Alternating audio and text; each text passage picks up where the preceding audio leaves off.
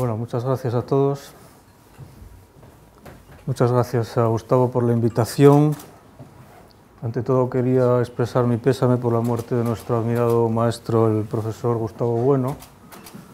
Yo cuando estuve aquí por primera vez, pues todavía estaba el presente y por desgracia ya no, ya no puede ser. Bueno, voy a hablar sobre el chamanismo indoeuropeo. En realidad, la, la forma de enfocar este, este tema pues es muy... Es decir, este tema se puede enfocar de muy diversas maneras. Yo he tratado de eh, ceñirme a lo que podríamos llamar el, lo que podríamos llamar el, chamanismo, en primer lugar, eh, partiendo de la idea general que se tiene de chamanismo, la idea general antropológica, pero eh, enfocándolo específicamente a lo que podemos recuperar de la cultura subjetiva indoeuropea. Aquí tenemos un mapa en el que eh, esquemáticamente pues, nos aparece la, la teoría estándar, la teoría, de, la teoría que sigue predominando hoy día a partir de los estudios de Jim Butas, que es la que postula esa patria originaria indoeuropea en esta zona que actualmente sería pues, la parte más oriental de Ucrania, sur de Rusia, al norte del Mar Negro, al norte del Caspio, y luego aquí aparecen ya, esta sería la, eh, sería la, la cronología, la evolución cronológica a partir de, pues tendríamos 4500, podríamos quizá remontarnos al 5000 antes de Cristo, que sería la época en que los indoeuropeos habrían estado todavía formando una unidad dialectal, y más adelante, según los colores, pues ya se va viendo la evolución y aquí tenemos dos de los grupos que se separan del, del, grupo principal, el más antiguo, el grupo Anatolio, del que comentaré algunos textos y algunas cuestiones culturales y, y religiosas, y luego el grupo que va a dar, luego, que va a dar lugar al Tocaria, ¿no? que es esta lengua indoeuropea que se, que se encontró en textos en el Turquestán chino. El estudio sobre el chamanismo indoeuropeo tiene que ser entonces una especie de cruce entre lo que sabemos del chamanismo en general, el chamanismo eh, que podemos encontrar incluso hoy día. Tenemos aquí, por ejemplo, en este mapa sacado de Wikipedia, pues las diversas tradiciones actuales, eh, pero que son antiquísimas, son milenarias muchas de ellas, y curiosamente en la zona donde hoy día predomina, predominan las lenguas indoeuropeas en en Europa y en el, Asia occidental, sur, suroccidental, pues no encontramos prácticamente, salvo en la India, donde todavía hay algo que se puede denominar así. Y curiosamente, pues, como decía, en este ámbito indoeuropeo, pues no, no tenemos hoy día esas tradiciones chamánicas que siguen estando muy vivas en las, en las culturas primitivas, llamadas de esa manera, ¿no? en las culturas que, que mantienen esta tradición chamánica.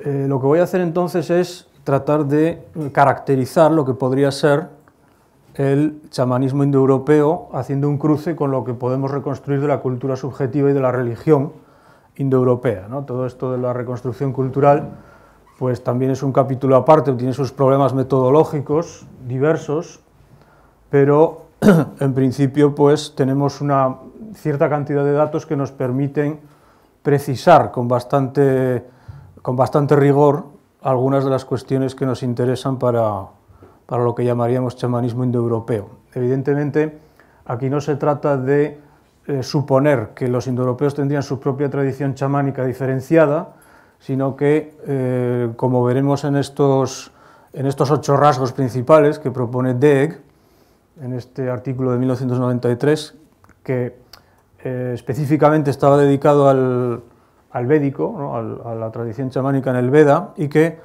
Mijael Yanda lo adaptó o lo eh, completó mm, atribuyendo esos, esos rasgos a un posible chamanismo prehistórico indoeuropeo.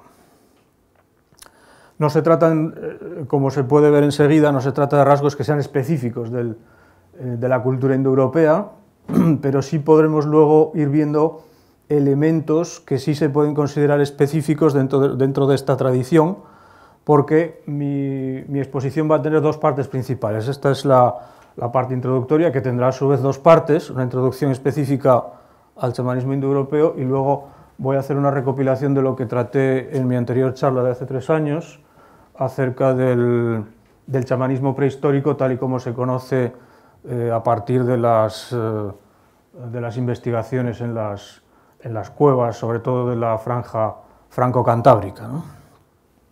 Entonces aquí lo que tendríamos es una especie de cruce entre lo que sabemos o suponemos o consideramos tradición chamánica y todo eso que dentro de la tradición religiosa indoeuropea podría entrar en este, eh, en este concepto, que no es, como todos ustedes saben, no es nada fácil de definir. Tenemos, por ejemplo, el éxtasis y las técnicas asociadas al éxtasis, a veces inducidas por la ingesta de drogas que provocan embriaguez o estado alterado de conciencia. Esto lo podemos deducir, por ejemplo, a partir de la reconstrucción de este término, que se suele identificar con el poeta, pero evidentemente esa idea que tenemos de poeta, el poeta indoeuropeo es eh, algo muy, muy diferente a lo que nosotros entendemos hoy día por poeta.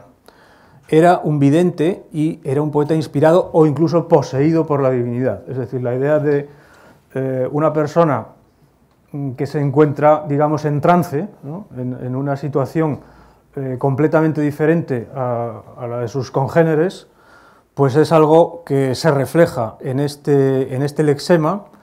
¿Y cómo llegamos a esa conclusión? Pues observando cuáles son esas, esos rasgos, esos rasgos semánticos en las diversas lenguas históricas. Por ejemplo, encontramos en la tradición céltica, que esto también es un capítulo aparte, es muy interesante toda la gran cantidad de términos que nos ha legado la, tradición céltica. Aquí no aparecen pues, otras palabras que conocemos, por ejemplo el bardo o el, druida. El druida también sería interesante de analizar desde el punto de vista chamánico o de, pervivencias chamánicas, puesto que druida viene a ser algo así como druid, es decir, el que conoce el dru, que es el roble o el árbol. Es decir, luego veremos que esta cuestión del árbol, el árbol cósmico, es fundamental en, las tradiciones chamánicas y entonces precisamente el druida es eh, aquel que tiene la sabiduría del árbol o del, roble específicamente. Lo que tenemos, eh, uno de los elementos o una serie de, una serie de lexemas que nos permiten reconstruir este término, que a su vez sería un derivado de otra raíz más antigua que probablemente significa soplar, insuflar, tenemos este galo watis, watis sería la, lectura fonética, que son los videntes, aparece en galo en el plural, el irlandés antiguo faith. Aquí utilizo una serie de abreviaturas ya normalizadas para la, para la lingüística indoeuropea, si alguna de ellas les resulta desconocida me, preguntan, ¿no? pero creo que se, se, reconocen bastante bien. Irlandés antiguo faith, el adivino, el profeta. Wates, que será probablemente uno de los, términos más conocidos eh, para ustedes, que es uno de los términos que existen en latín, el bate, el, vidente, el poeta, pero probablemente es un préstamo celta, aunque esto tampoco es seguro del todo, podría también tratarse de tradición itálica eh, autóctona. Tenemos en nórdico antiguo una serie de términos, oder, poseído, inspirado, poesía y locura también, ¿no? es decir, todos estos elementos, inglés antiguo wod, wod, eh, canto por un lado y frenético o loco por otro. ¿no? Tenemos alto alemán antiguo Wut, tenemos por ejemplo en alemán moderno Wut, que es la, la cólera, Watts, poseído en gótico, y en germánico tenemos el nombre de Odín, que aparece en el islandés antiguo, Odín, alto alemán antiguo Wotan, ¿no? Wotan, Wotan Odín, que es el mismo nombre de divinidad germánica, que está asociada a este tipo de sabiduría poética y posesión a la vez. ¿no? Es lo que tenemos, por ejemplo, en el nombre en el nombre inglés del, miércoles, ¿no? el Wotanes Day, está traduciendo el, el Mercuri Dies. Quizá también en eslavo aparece eslavo eclesiástico antiguo, Betigi orador. En fin, tenemos esa caracterización de lo que podría haber sido en su época un vidente o poeta poseído, es decir, algo que eh, con bastante precisión nos acerca a una idea del, del chamán prehistórico. Tenemos también la posibilidad de reconstruir un lexema, algo que no es muy frecuente, pero cada vez tenemos más, eh, tenemos más sintagmas, ¿no? sintagmas que podemos reconstruir de, las antiguas, de la antigua lengua poética indoeuropea, y esto sería soplar o insuflar el espíritu dentro de alguien, esto sería el verbo y este el, el, complemento directo, el acusativo, espíritu menos, lo tenemos en esta frase del védico, sopla buen espíritu dentro de nosotros, vata yamana, y en griego se produce una sustitución del verbo, pero en realidad está también dándonos esa, esa misma pervivencia de la idea de eh, insuflar, ¿no? Empneus menos, Atenea insufló coraje.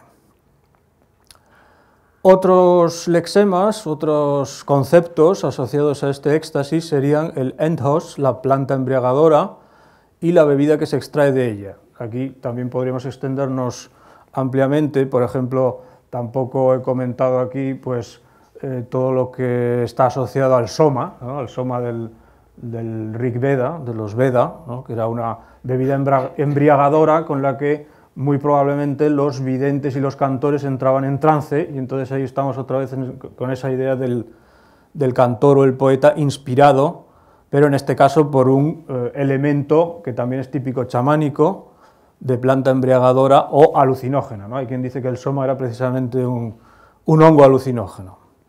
Aquí tenemos la coincidencia entre el anzas del indio antiguo y las ancesteria, esas fiestas báquicas en, en honor de Dioniso. La visión extática, que también nos da una idea próxima a este concepto antiguo del chamanismo prehistórico, esta idea, como se ve bastante fácil, es una derivación de la raíz men o mon, pensar, ¿no? pensar, traer a la mente, es lo que tenemos en mens mentis, del latín, sin ir más lejos. El poeta trae a la mente lo que conoce para componer o recitar y al mismo tiempo lo expresa con palabras. De ahí que también con esta misma raíz se aluda al propio acto de habla, es decir, en védico es pensar y es mencionar en lituano lo mismo, y lo tenemos muy claro en esta expresión latina mentionem facere, es decir, hacer mención, pero la raíz es la de mens mentis. En la tradición védica llega a expresar la propia composición de un himno, como en el Rig Veda 5.13.2, donde tenemos Agne stoman manamahe, pensamos la alabanza para Agni. ¿no? Agni es el, dios del fuego.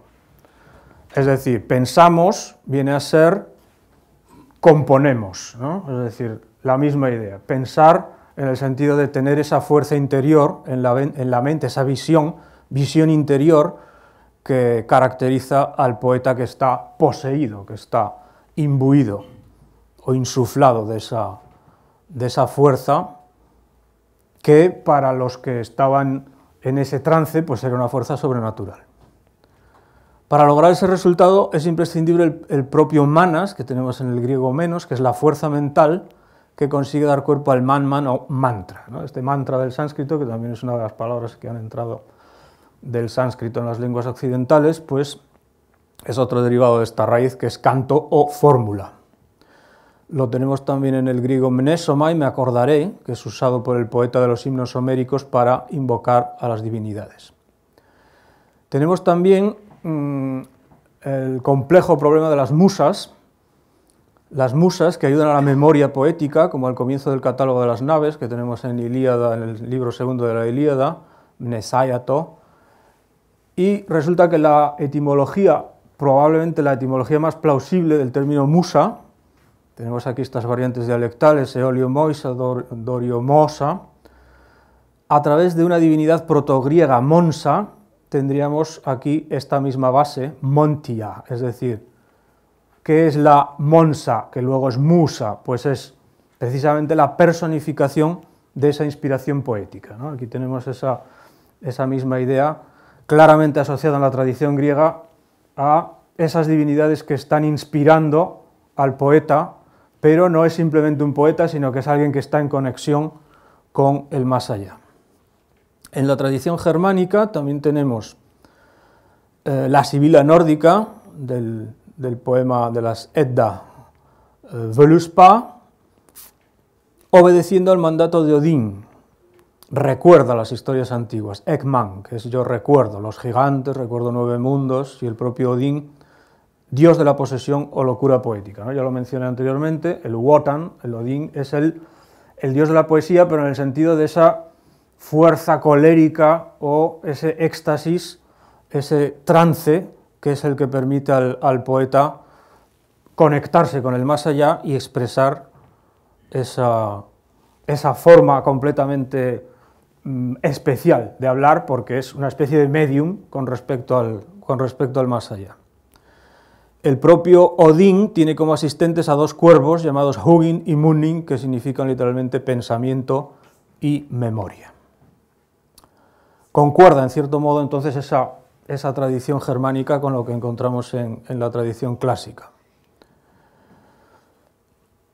Es interesante también observar cómo para la creación poética se utilizan metáforas, por ejemplo, con este, esta raíz que aluda a la construcción, tex, es lo que tenemos en el griego tecton, taxan en védico, tashan en avéstico, que es el carpintero, el constructor, ¿no? el, jefe de los carpinteros sería el architecton, ¿no?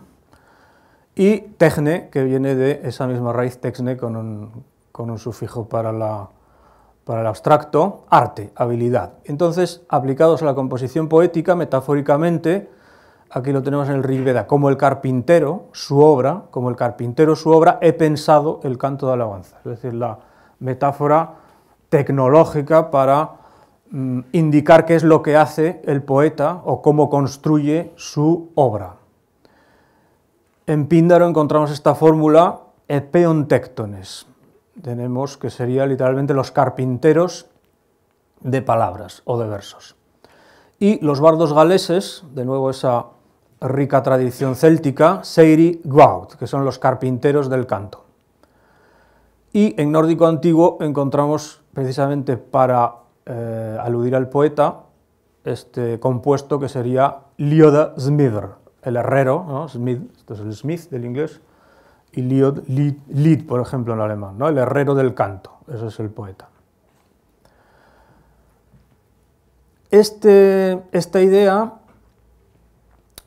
este resultado de la actividad poética equiparado a barco o carro no es una simple metáfora técnica, sino que resulta que el propio poeta, una vez que ha construido su canto o su, o su verso, puede desplazarse y utilizarlo como un vehículo de transporte trascendente. Es decir, el propio canto, la propia poesía sirve como vehículo de transporte para transportar las ideas que proceden del más allá y transmitirlas a sus semejantes. Tenemos aquí, por ejemplo, en este verso del Rig Veda, los poetas de antaño abren las puertas de los pensamientos o de los cantos, ¿no? que sería este matina que tenemos aquí en genitivo de plural, pensamientos, es la misma raíz que tenemos en mens mentis aquí, matinam, y puede traducirse por pensamientos o cantos.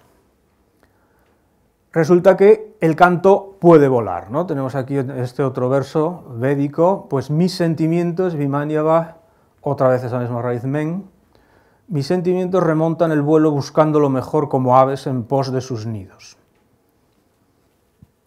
Esto concuerda con la fórmula homérica epea pteroenta, que son las aladas palabras de esta fórmula homérica, es decir, las palabras son aladas porque es precisamente en esa expresión poética donde el, el poeta inspirado puede subir y trascender mediante esa construcción poética, mediante su arte.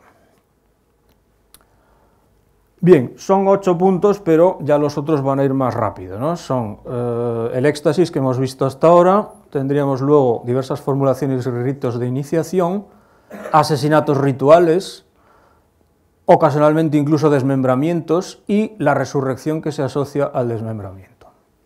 Tenemos los desmembramientos de Yama, Yima, es decir, la tradición india, Ymir en la tradición germánica, Purusa también en, la India, y Dioniso, y el conocido ritual dionisíaco del eh, sparagmos, el desgarramiento. Esa idea está asociada también a un mito que se reconstruye para, para la mitología común indoeuropea, que es el desmembramiento de un gigante primordial con el que los dioses construyen luego las partes del cosmos está también en relación con un mito de tipo sociogónico, no solo cosmogónico, sino sociogónico, es decir, de la cabeza surge la clase social de los brahmanes, esto está claramente eh, expresado en la India, de los brazos los guerreros, de las piernas los productores, los, campesinos, de los pies los, los eh, esclavos, etc. Es, una idea de que la naturaleza, el orden social está asociado a la naturaleza y está expresado en ese mito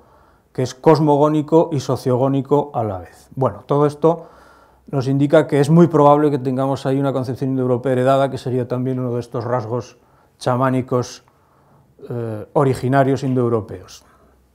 El viaje al cielo o al más allá, que es uno de estos típicos, típicas funciones chamánicas que encontramos prácticamente en, todas las tradiciones que se denominan de esta forma. Por cierto, no comenté que el término chamán aunque se ha discutido mucho su etimología y resulta que bueno, hay quien defiende que es un término autóctono de Siberia, en realidad lo más probable es que, como ocurre con muchos términos del chamanismo asiático, lo más probable es que tenga su origen en la tradición india. Entonces eh, tendríamos Shramana, que es el, monje, el asceta, el que vive en un ashram, Shramana, de ahí pasaría eh, por la ruta de la seda a la zona donde estaban los tocarios, y de ahí pasa a Shaman y de, esa zona del Turquestán chino pasa a Siberia y a partir de ahí es el ruso, el contacto entre el ruso y, los pueblos siberianos, a partir del ruso pasa la, palabra a otras lenguas europeas, a España llega por mediación del francés, por eso decimos chamán, que es una forma bastante incorrecta de pronunciar esa sibilante inicial, ¿no? sería mejor decir chamán, pero como en español no existe sh, pues bueno, podríamos haberlo dejado en samán, pero quedó en chamán y simplemente saber que la pronunciación correcta sería más bien con sh, con la s palatal. Bueno, como iba diciendo, tenemos lexemas mm, que ayudan a entender que también había esta subida, en el sentido de una subida trascendente, coinciden estos lexemas del indio para subir, y el término para los campos elíseos, ¿no? elusion, aunque esta es una de las etimologías posibles para este término. Y también tenemos otro compuesto antiguo que sería con un verbo que significa ir, andar o dar un paso o desplazarse. Tenemos este compuesto que viene a ser por donde se llega al sol, es decir, no es simplemente el aire o el cielo, sino una idea eh, de subida hasta lo más alto. Aparece en este término suarga, el cielo, pero el cielo también en un sentido trascendente y en el término griego olvos, que es eh, uno de los términos centrales, por ejemplo, pues de la iniciación de los misterios de Eleusis. El bienaventurado es el que ha alcanzado por fin el, éxtasis de, llegar pues, al, al cielo o al más allá. Tenemos diversas figuras que emprenden viajes extáticos al más allá, como Parménides en Grecia, estos eh, sabios o ascetas indios y también figuras de tipo chamánico en Irlanda. Bien, el punto cuarto sería un tipo muy especial de sabiduría chamánica que suele adquirirse en los viajes al más allá y en el que se incluye la capacidad de curar enfermedades. Burkert fue el que asoció al chamanismo griego estos casos extraordinarios de sanaciones, como las que aparecen ahí en, en las narraciones sobre Formión y Leónimo, y aquí también lo que comentamos antes de la visión interior está en relación directa con esta idea, de que, las, de que el chamán adquiere esta visión interior, esta capacidad de curar, es decir, al ir al más allá y poder volver, recibe una sabiduría trascendente que le permite realizar esa, esa curación. Lo que comentamos antes de Musai y su eh, plausible etimología a partir de esa raíz de mens mentis, la misma que tenemos aquí con, el grado O en lugar del grado E. Otros elementos típicos de ese chamanismo indoeuropeo serían la existencia de los espíritus auxiliares, que suelen adoptar forma animal. Luego veremos también una conexión directa o bastante evidente, o al menos muy plausible, con el, el chamanismo prehistórico en relación con lo que encontramos en las cuevas paleolíticas y esos animales que muestran el camino al chamán o lo acompañan y protegen en su viaje. Las yeguas que tiran del carro de Parménides o la perra sárama que se puede asociar también a la idea del can cerbero que está guardando las puertas del infierno en la mitología griega.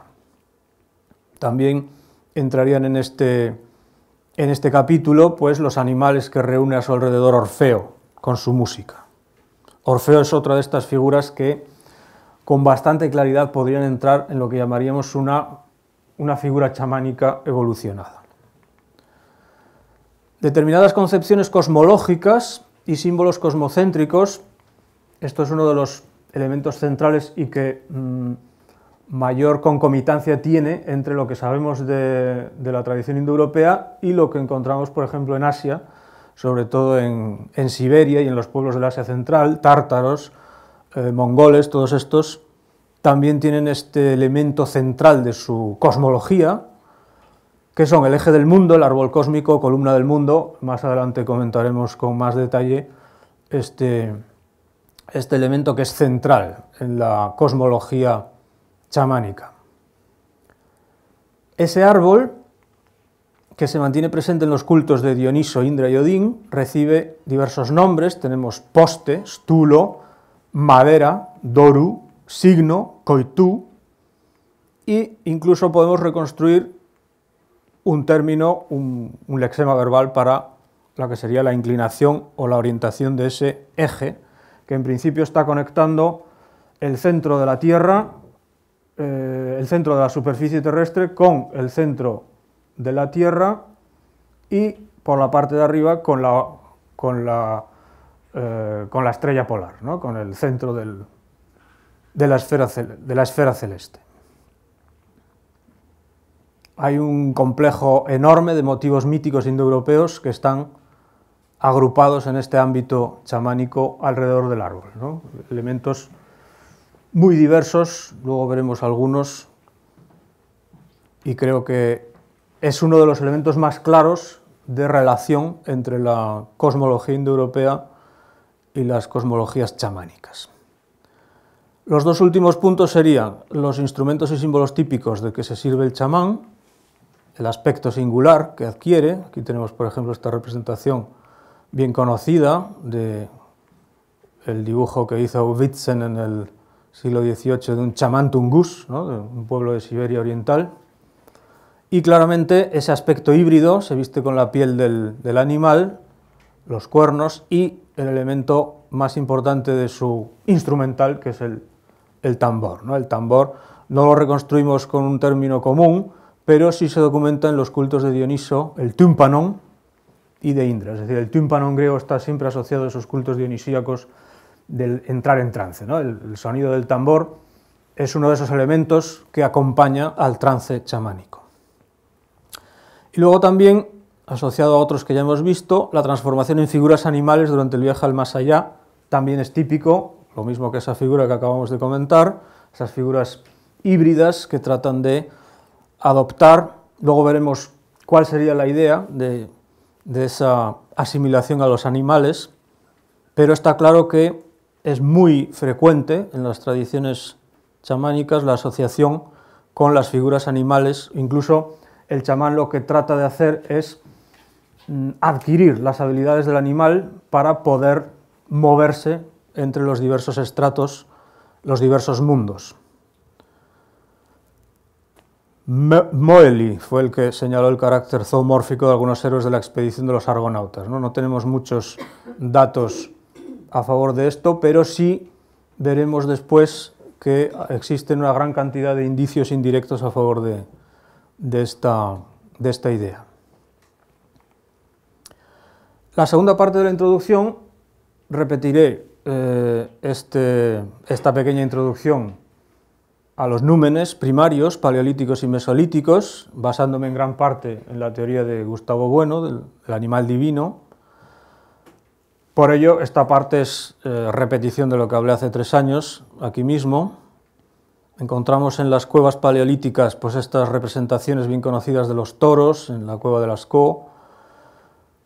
La teoría, a grandes rasgos, muy simplificada, acerca de la evolución de la religión, pues establece tres fases. Las religiones primarias, en las cuales el núcleo son los animales o númenes corpóreos, es decir, En esa fase primaria, que es esa que encontramos en las cuevas paleolíticas, los númenes son los animales, es decir, no se trata de que eh, los creyentes en una religión mm, adopten pues una, fe en algo que es sobrenatural, sino todo lo contrario, están continuamente observando esos númenes que están ahí y que son corpóreos, que son precisamente los animales.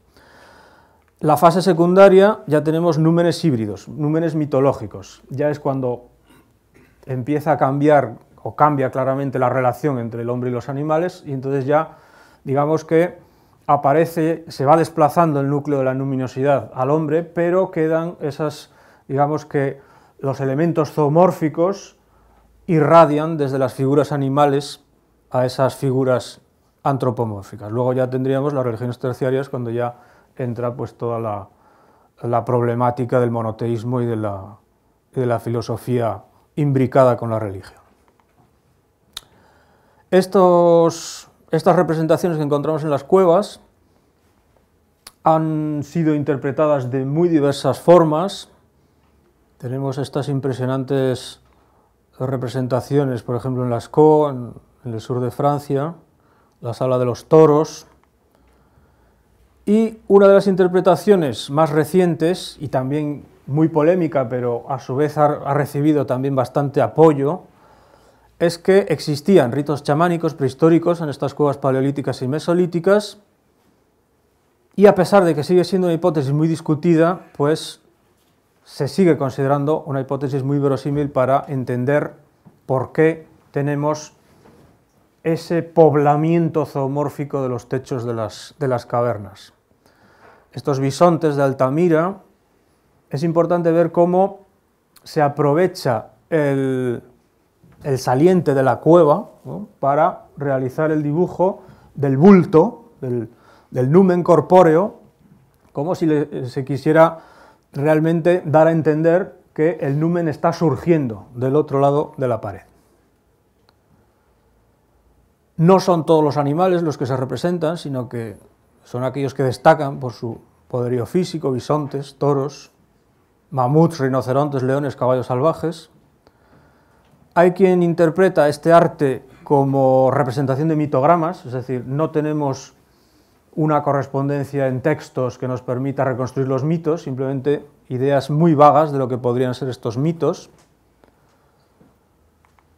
Pero eh, una de las ideas más sugestivas es la que, como acabo de comentar, la representación chamánica de los animales como saltando desde la pared, es decir, la idea émic, ¿no? desde este punto de vista de este sistema de creencias, es que los animales están en el, otro lado de la pared, que esa pared sería precisamente la membrana que separa nuestro mundo del mundo del más allá y que son precisamente esos animales los que son capaces de transitar esa membrana o esa frontera entre los dos mundos y de esa manera, digamos que representan una posibilidad de trasladarse, de viajar, esto sería una especie de chamanismo primitivo, chamanismo del paleolítico o del mesolítico, representado en estas, en estas figuras animales de las cuevas. ¿no? Se trata de, en muchos casos simplemente se deja el propio dibujo con la idea de que está saliendo, no, no se dibuja por completo, sino que se dibuja, por ejemplo, solo la, la cabeza. Entonces la idea es esa, ¿no? la idea es que el, el propio animal surge del otro lado, que es la frontera, la, pared, la membrana, luego veremos cuando comente alguna etimología, por ejemplo la etimología para la palabra hitita para el camino, cómo esto puede estar operando desde la, desde la época más arcaica. Bien, toda esta segunda parte de mi exposición está dedicada a mm, mostrar propuestas recientes de interpretación en esta línea, ¿no? interpretación chamánica para algunos aspectos que encontramos ya en las tradiciones religiosas indoeuropeas, tanto elementos mm, históricos como elementos que podemos deducir a partir de nuestra reconstrucción del léxico o de nuestra investigación etimológica de los lexemas indoeuropeos. Comienzo con el análisis etimológico de estos teónimos, es decir, nombres de divinidades que aparecen en la tradición anatolia, divinidades anatolias del inframundo, Lubita Marwaya y Tita Markuwaya. Son del mismo origen, con una ligera diferencia fonética, en este caso desaparece aquí la, la gutural sorda en el Lubita, pero es básicamente el mismo nombre, y son lo que se llama divinidades oscuras o divinidades subterráneas. ¿no? Tampoco estamos seguros de que aparezca eh, ni en singular ni en plural, pero lo más probable es que sí, que haga referencia a una pluralidad. Aquí tenemos los, testimonios de estos teónimos, aparecen en el lubita cuneiforme, en hitita y en eh, lubita jeroglífico. Aquí tenemos el, uno de los testimonios en el lubita cuneiforme, Marwainzi. Sí, aquí es claramente un plural, está marcado por el determinativo sumerio para el plural. Y aunque no se dice explícitamente que sean divinidades subterráneas, todo el contexto nos indica, y luego también por otras alusiones, nos indica que se trata de divinidades del inframundo. Yarri, por ejemplo, es una divinidad que se puede comparar con la palabra para Ares, el, teónimo del, dios de la guerra, del dios de la guerra griego. En la tradición del lubita jeroglífico también encontramos, no son muchos, pero encontramos testimoniado el término, aparece aquí marcado en rojo, la autografía del jeroglífico, aquí la, transcripción y aquí una traducción inglesa, Marwainzi, que sería este término. Los dioses Marwainzi asociados a Santa, que es otro de estos dioses anatolios asociados también al inframundo. Otro testimonio aquí, Marwainza, y asociado a divinidades también del, inframundo. Esta sería la, la autografía del jeroglífico y aquí la transcripción. Bueno, aquí lo que encontramos al analizar etimológicamente el término es una serie de eh, elementos, sobre todo hay un elemento básico que podemos aislar en toda esta familia de palabras. Marnuwalan Palshan, aquí tenemos la palabra hitita para el camino, el camino de la desaparición. Este es el, el logograma que se leía Palshan, el logograma sumerio para camino. Y este epíteto este es el adjetivo que califica camino, el camino de la desaparición, deriva de este verbo, significa hacer desaparecer, que es el causativo de mer, mar, y aquí ya es donde encontramos algo ya conocido, que es esa raíz que tenemos en el morior del latín. Resulta que esta raíz en origen se utilizó como eufemismo, puesto que significaba desaparecer.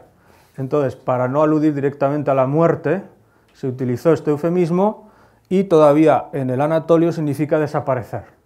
Pero ya en latín se perdió ya el sentido eufemístico y morior ya significa directamente morir.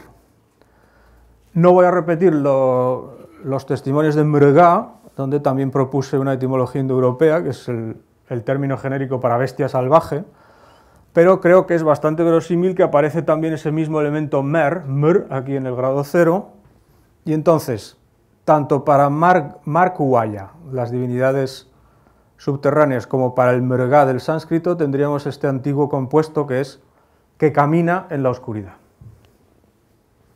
O que puede ir a la oscuridad, al camino oscuro, a la senda eh, salvaje, es otra traducción, y luego de hecho tenemos este derivado en sánscrito que es marga, simplemente el camino, pero en el sentido de una senda, una senda, una pista un track, ¿no? que se dice en inglés, por donde transitan los animales.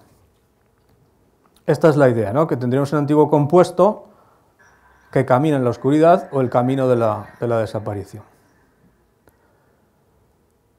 Si continuamos observando paralelismos de la morfología de estos términos, el mrga del sánscrito y el suarga, vemos que tienen estos dos el segundo elemento go, que viene a ser eh, dar un paso, caminar, derivados de esta raíz indoeuropea, es decir, mrega, que camina en la oscuridad, y suarga al revés, es el camino de la luz, el camino al sol, que es este término para el cielo en sánscrito. ¿no? Tendríamos eh, los dos caminos chamánicos posibles, hacia arriba o hacia abajo, hacia el cielo o hacia el inframundo. Estarían reflejados en estos dos compuestos que serían antitéticos, ¿no? pero con el mismo segundo elemento, transitar o caminar.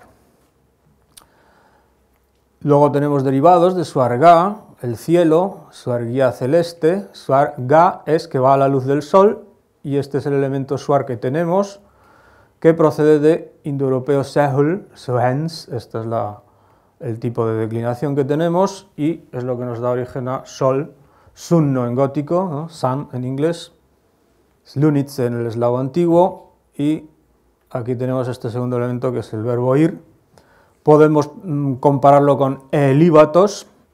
Elíbatos es el mismo elemento para el sol, y entonces elíbatos, que significa escarpado, pues viene a ser literalmente que se eleva hasta el sol. Esta es la misma raíz que tenemos aquí para ir, caminar, ¿no? Basis, por ejemplo. Es interesante también el análisis etimológico de este epíteto homérico, a atos, no es en absoluto evidente, y esto se lo debemos al ruso Nikolayev, que creo que con muy buenos argumentos extrae esta etimología. Tenemos la partícula negativa y tenemos ese lexema para el sol. ¿Qué significa entonces a atos? Pues que no tiene sol o que no tiene la luz del sol. Lo tenemos aquí en este verso de la Ilíada. Agre num moiomoson a atos a aton stugos hudor. Acércate y júrame ahora por el agua a ato de la estige. La estige o estigia es la laguna del inframundo. Entonces, que sea un epíteto de estige, del agua, ¿no? del agua de la estige, casa bien con esa idea de que no tiene sol. Es decir, es un elemento de contraste, sol, no sol, es decir, lo que está en el inframundo y muy probablemente todo esto, todo este, digamos, esta cosmología del inframundo en eh, contraste con la, con la cosmología del mundo superior, el del Sol, pues es muy probable que sea heredada. Donde encontramos también en, el en la India védica y en la Edda poética del nórdico antiguo. Volviendo a Marwaya o Markuwaya, tendríamos entonces esa posibilidad de entender ese compuesto también como divinidades oscuras o del inframundo, partiendo de este mermor, desaparecer o morir. Hay otra idea que es, eh, suponiendo la existencia de este lexema indoeuropeo, merb, oscuro, lo tenemos en estos términos del nórdico antiguo, del sajón, del inglés antiguo, pero también puede ser, en lugar de proceder de este merg oscuro, que yo creo que también, si existe como tal, puede estar perfectamente derivado de aquí mismo, mergbo, que vendría a ser las divinidades que vienen o que caminan en la oscuridad, es decir, las que transitan ese camino chamánico desde abajo o desde el inframundo hasta nuestro mundo. Hay un verbo muy misterioso, aparece una sola vez, ¿no? Hapax legomenon, marwai, en este contexto, un texto lubita cuneiforme, aquí tenemos, creo que con los colores se ve bastante bien, ¿no? Ishtar de Shamuja, mi señora, vino en mi ayuda. Ella atravesó o cruzó, aquí le pongo un, este es el verbo en rojo, ¿no? Le pongo un, un interrogante porque evidentemente al ser un hapax, es decir, una palabra que solo aparece una vez, tenemos muy pocos datos para proponer un significado más o menos fiable. En este caso el contexto liminal es bastante claro, ¿no? Tenemos eh, cruzó o atravesó el, arriba y el abajo. Hizo que el cielo y la tierra, tenemos aquí nepistecan, que son todos estos contrastes claros, nepistecan en el, en y en el lubita, pues bueno, en realidad este no es un texto, no es un texto lubita, es un texto hitita, lo que ocurre es que se menciona un término un término lubita, se le coloca esa, esa glosa doble indicando que es una palabra lubita. Y no tenemos eh, muchos elementos de juicio para saber cómo se podría traducir, pero creo que esta propuesta pues no, no, es, no es descabellada, ¿no? atravesó o cruzó el arriba y el abajo. En resumen, para Marco Guaya, las divinidades en la profundidad de la tierra, Gottheiten in der Tiefe der Erde, pues creo que tienen la misma etimología que el mrga, que es el animal salvaje en sánscrito, que es el que viene del oscuro o que atraviesa desde la oscuridad, que camina en la oscuridad. Bien, pasamos a otra propuesta que ya comenté antes de pasada, que sería intentar averiguar cuál sería la etimología de este término palsa, término hitito para el camino. En este texto, que se llama El Gran Camino del Alma, encontramos cómo hay una especie de diálogo y eh, se dice, el alma es grande, el alma es grande. ¿De quién es grande el alma? El alma del mortal es grande. Y continúa así el texto. ¿Y qué camino recorre? Aquí tenemos otra vez el palsan, escrito con ese logograma sumerio, y el complemento fonético. Esto sería la lectura fonética. ¿Qué camino tiene o qué camino recorre? ¿no? Literalmente es qué camino tiene. Uran, palsan, hartzi. Tiene el gran camino. Marnuwalan Palsan Hartzi tiene el camino de la desaparición. Este Marnuwalan que ya comentamos antes, como epíteto de camino, el camino que va a lo oscuro o a la desaparición. Es decir, el alma al morir tiene que recorrer ese camino hacia el inframundo. Aparece también el término en los conocidos rituales de evocatio, la preparación del camino. Aquí, por cierto, tenemos un paralelo con la tradición bíblica, creo que todos recordamos lo que en el poema de Isaías, ¿no? Parate viam domini. Eso es, preparad el camino del Señor o al Señor, ¿no? Es decir, estos rituales antiguos consistían en esparcir elementos que fueran mm, atractivos para las divinidades de manera que vinieran a donde se está realizando el ritual. Preparación del camino para los dioses para que participen en el ritual. Aparece también en, la tradición latina, los lectis ternia, que es literalmente la, eh, la, extensión o la preparación de los lechos para los, para los dioses. ¿no? Es una idea un poco, em, un poco zoomórfica también, es como echarles la comida para que vengan los, los dioses. En el mito de Telipinu tenemos aquí esta invocación a Telipinu, una divinidad a la que se invoca que también había ido al, más allá, y entonces se trata de que regrese. Mira, Telipinu, he rociado, tus caminos, que aparece el término con el posesivo, tus caminos con aceite refinado, acércate, Telipinu, sobre los caminos rociados con aceite refinado.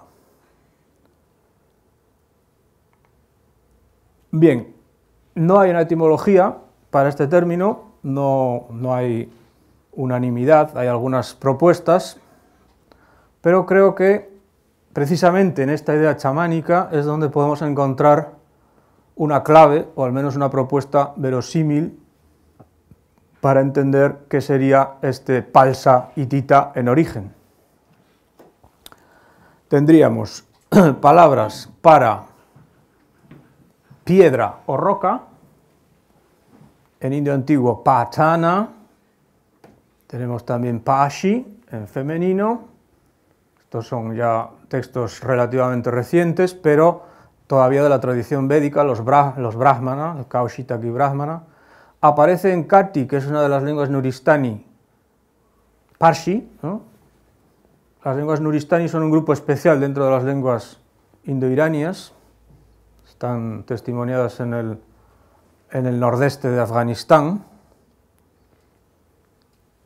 y tienen un estatus dialectal especial porque es, probablemente un grupo intermedio entre las lenguas indoarias y las lenguas iranias. Aquí tenemos, por tanto, un testimonio muy antiguo y todavía estaría ahí ese grupo RS que es eh, sucesor del grupo LS que tenemos también en hitita. ¿no? Por lo tanto, se hace verosímil asociarlas etimológicamente. ¿no? Piedra o montaña, una evolución semántica que no es extraña. ¿no? Tenemos entonces la posibilidad de reconstruir peles o pels. Puede aparecer también en pella, que es un término, eh, un término que Siquio cita, este era un, lexicógrafo alejandrino que hacía, recopilaba palabras o dialectales o extrañas y entonces ponía detrás la traducción al griego estándar, ¿no? al, griego koiné. Entonces pella es lizos y probablemente es lo mismo que tenemos en, el topónimo de la capital de, Macedonia, ¿no? Pella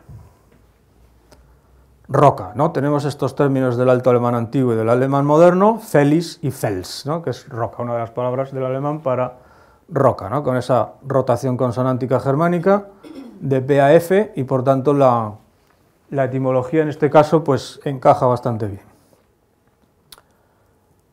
Todo este conjunto de derivados de esa raíz pel resulta que la podemos asociar con estos lexemas. ¿no? Tenemos griego pelorapos, por ejemplo, que es el que cose pieles. Tenemos también en germánico fella, membrana, piel, cubierta. Aquí tenemos que recordar lo que vimos antes de los animales atravesando esa membrana de la pared de la cueva. Es decir, eh, esa cubierta la podemos entender en relación con la roca que es lo que pasa a significar esta raíz también, como hemos visto, y por otro lado, con el camino al otro lado. Nórdico antiguo fel, fial, inglés antiguo fel, fel, alto alemán antiguo, también film, con otro, con otro sufijo, por supuesto latín pellis, ¿no? lo que da piel, pelni, con otro sufijo, es decir, una cubierta, una membrana, piel, película, película es el diminutivo de pellis, ¿no? Pelene nos da en lituano plene, membrana, eslavo pelena, pañal, ruso plena y pelena, membrana o pañal.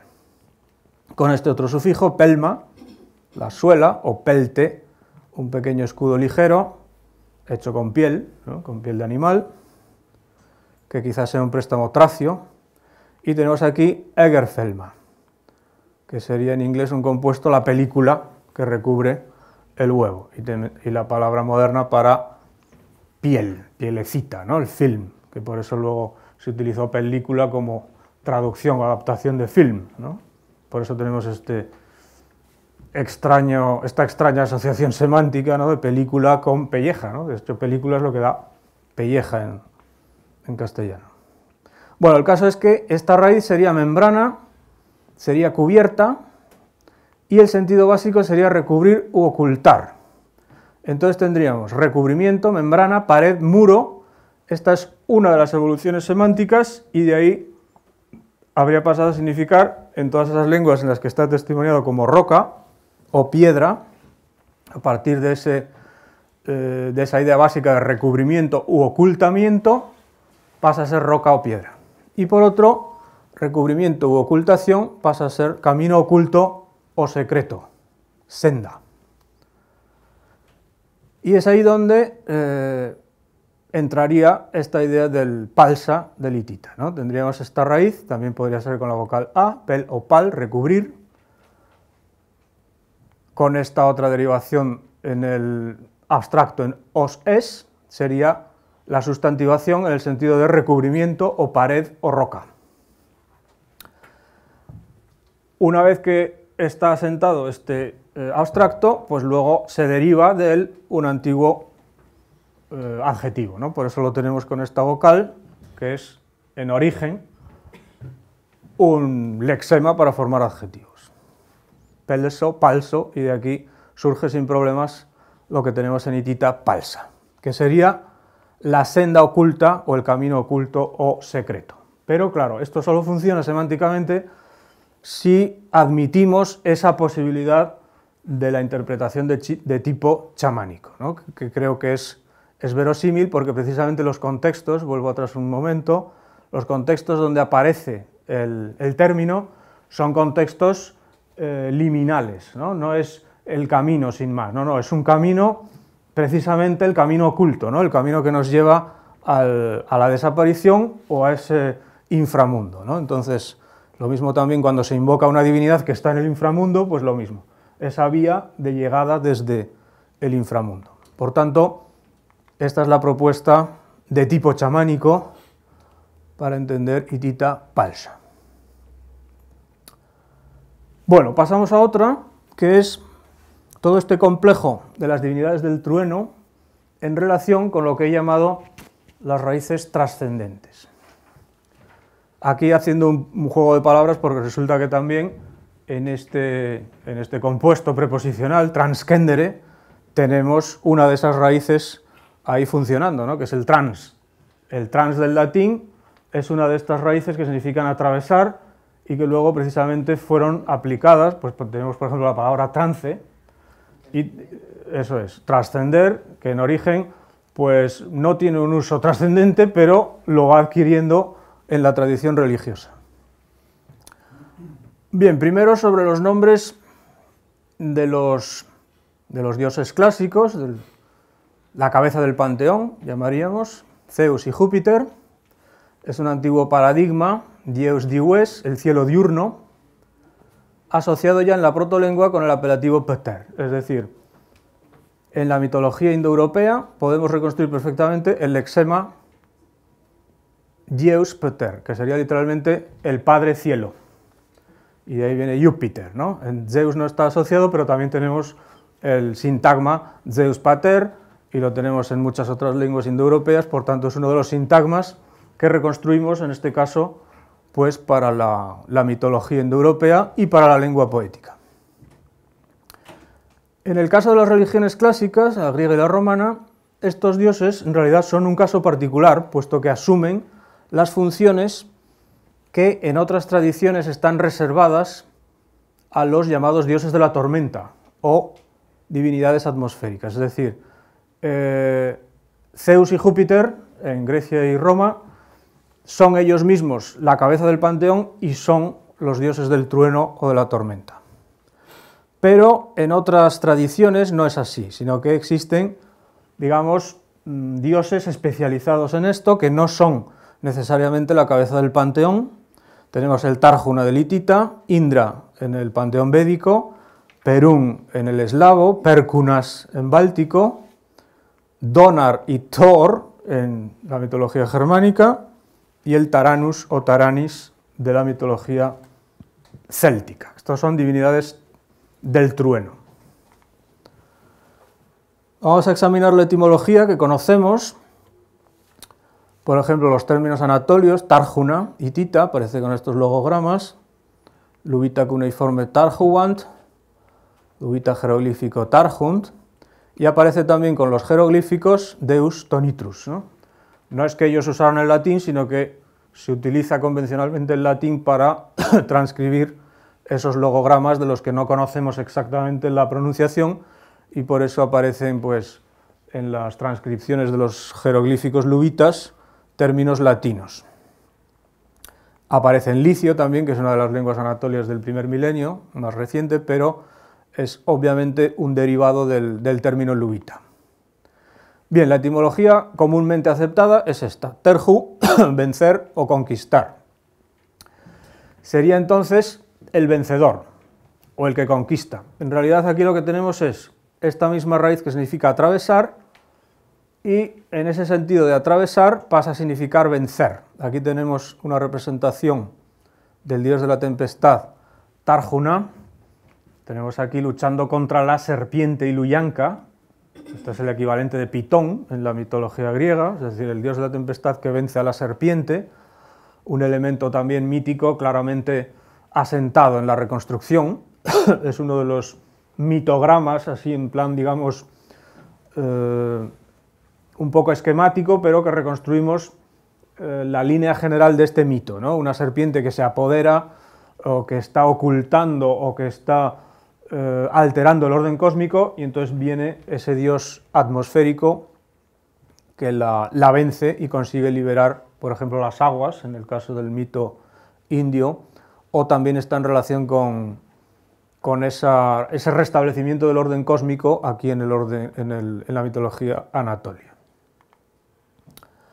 Bien, ¿qué pasa luego con estos términos que tenemos en celta y en germánico? Pues resulta que la etimología es, como podemos observar ahora, es una etimología muy similar. ¿no? Tenemos aquí el taranis céltico, vemos que el contexto zoomórfico es continuo, ¿no? están siempre asociados a figuras zoomórficas, todas las divinidades que aparecen representadas en, estos, en este calderón de Gundestrup, por ejemplo.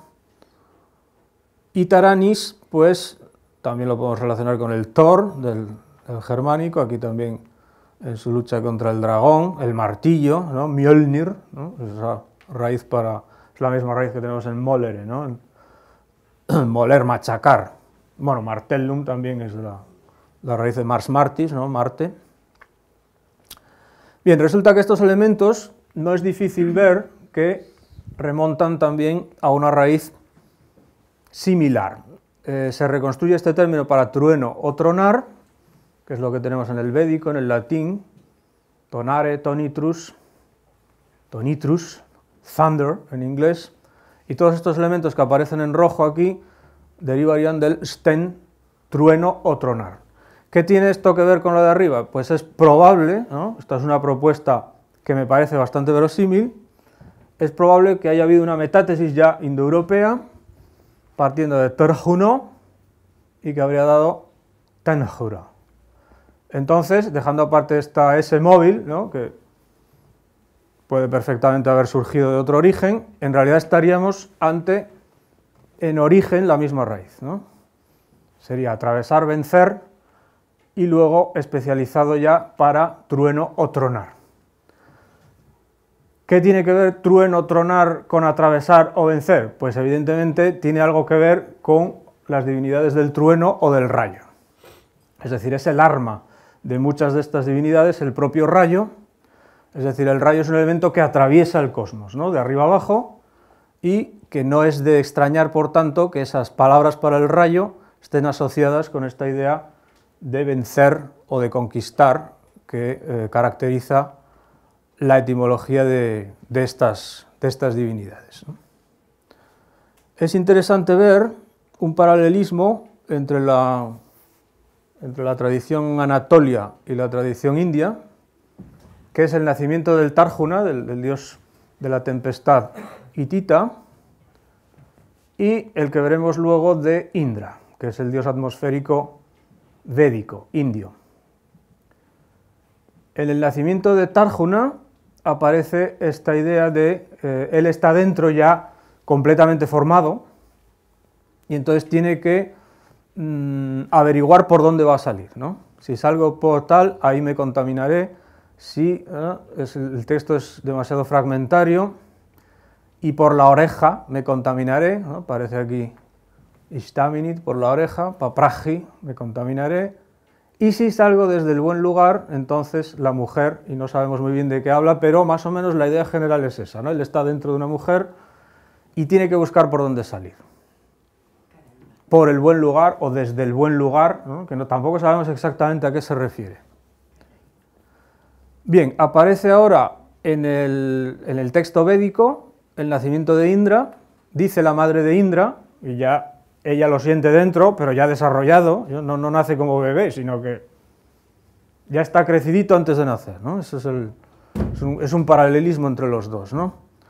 Aquí está el antiguo camino probado desde el cual todos los dioses nacieron. Es decir, le está diciendo pues, que salga por donde han salido todos, el camino normal para nacer.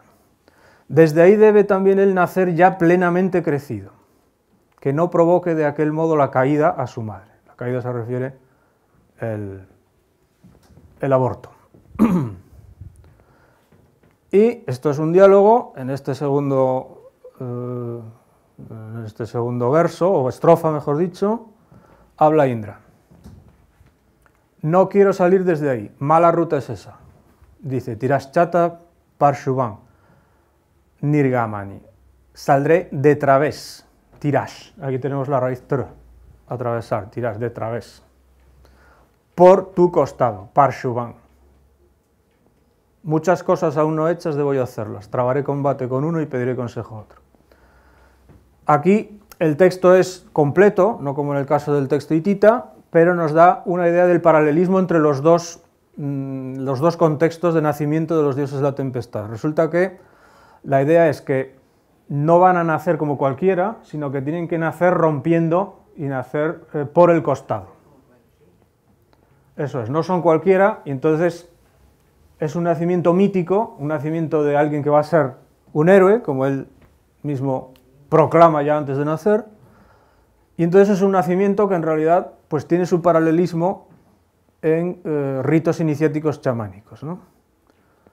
estos nos los muestra Eliade, por ejemplo, en la historia del herrero finés Ilmarinen, a quien su amada impone como condición para el casamiento que se pasee entre los dientes de la vieja hechicera Hisi.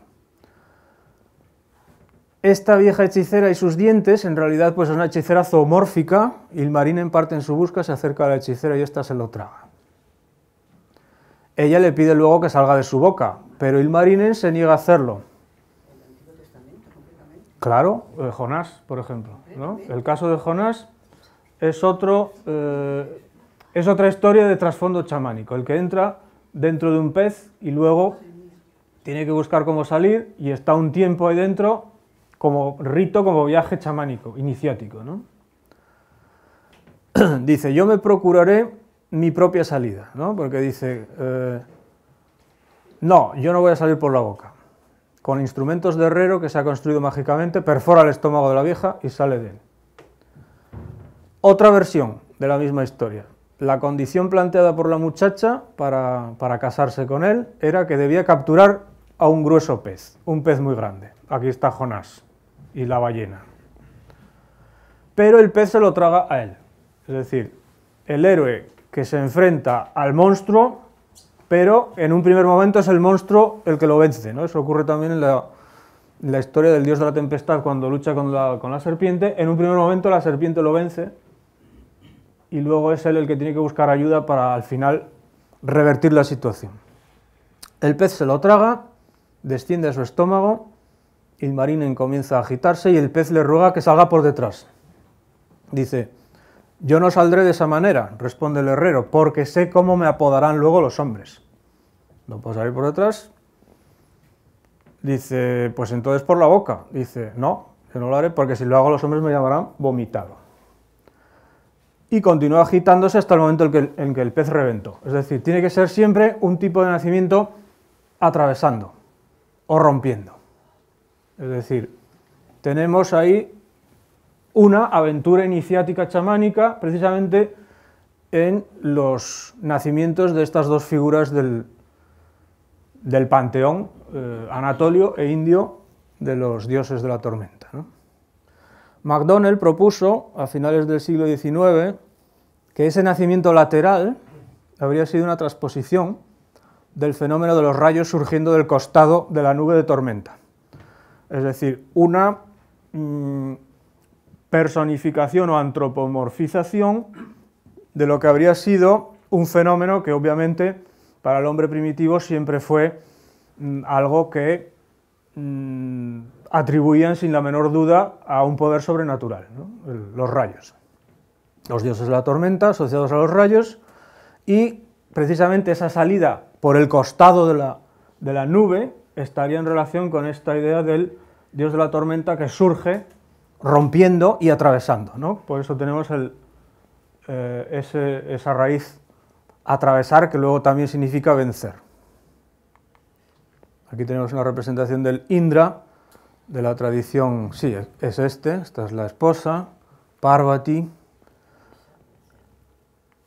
montando un elefante, en fin, Indra es, y aquí es importante observar cómo empuña su arma, que es el rayo. El rayo, que es una maza a la vez, es el dios atmosférico, Indra, era el, héroe nacional de los, indoarios, cuando entran en la India invadiendo, a pesar de lo que dicen los indios de hoy, que ellos están allí desde siempre, no es verdad, entran los arios, invaden la India y su mitología de dominio sobre los pueblos no indoarios pues es la de, la de Indra, un héroe, un guerrero que vence, que vence a los pueblos no arios.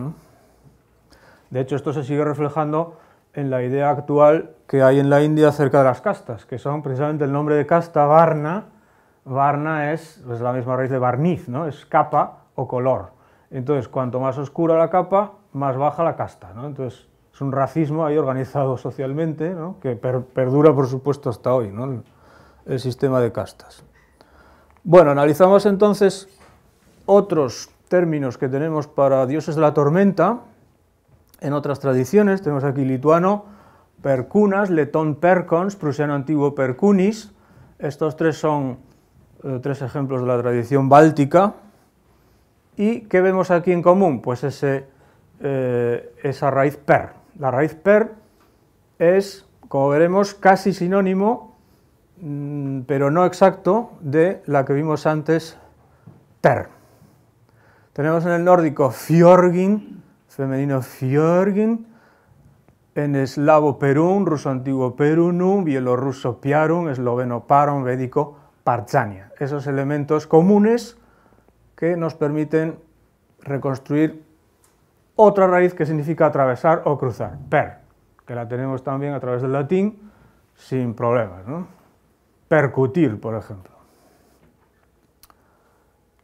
La palabra griega para el rayo, que era unos, resulta que puede proceder de este, eh, esta transformación por tabú, es una transformación muy compleja, pero es posible, partiendo de un percaunos, habría dado kerpaunos. Esto es lo que tenemos también en el perunu, y según Watkins tendríamos folk etymology or taboo deformation, es decir, esta transformación extraña del percaunos en queraunos se debería a deformación por tabú. Tenemos este epíteto también en la Ilíada, Zeus terpiqueraunos, que sería también transformación de un perqui peraunos, que tiene un rayo que atraviesa o que golpea. Este perqui, con este elemento gutural, veremos que también aparece en otros términos en relación con el rayo y con el árbol cósmico. Tenemos entonces ya dos raíces que significan cruzar, pasar a través, en este caso también puede ser golpear, ¿no? Tenemos per y tenemos ter, aquí las representaciones de Zeus y del eslavo Perún, con una maza muy similar a la que vimos antes de, Indra. Aquí ya aparece Zeus directamente con los rayos en la mano. Esto es obviamente un dibujo moderno, no, no de la época clásica. Bien, tenemos entonces dos raíces que tienen una aplicación sacral o luminosa muy clara. ¿no? Se trata de atravesar. Hay que tener en cuenta que es la idea básica de la acción del chamán. Es decir, atraviesa al más allá y vuelve. Cruza, cruza la frontera. Tenemos, eh, por ejemplo, néctar, ¿no? que procedería, si esta etimología es correcta, que es plausible, sería ter, atravesar, y nec, la muerte. ¿no? Lo que tenemos en nex, en latín, muerte violenta, por oposición a mors, que sería muerte, sin más. Entonces, ¿qué es el néctar? Pues la bebida que atraviesa la muerte, ¿no? Ter, nec, néctar. una de las bebidas que permiten ser inmortal, ¿no? Como la ambrosía. Ambrosía directamente significa inmortalidad, ¿no? Mrtia. Tenemos teras, el signo prodigioso, luego comentaré esta palabra también. Es interesante que los testimonios más antiguos de teras hacen referencia a animales o a monstruos. Tenemos tártaros, tenemos tarentum. Tarentum es, pues tenemos el topónimo del sur de Italia, Tarento, y en origen, partiendo de esta raíz, es el lugar de cruce, que luego en latín pasa a ser eso, lugar de cruce al otro mundo, pues es la tumba, ¿no? Ese es el Tarentum.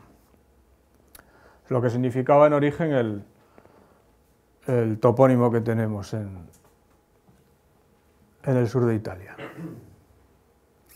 Aquí, hay un, aquí tenemos un, un testimonio de Teras.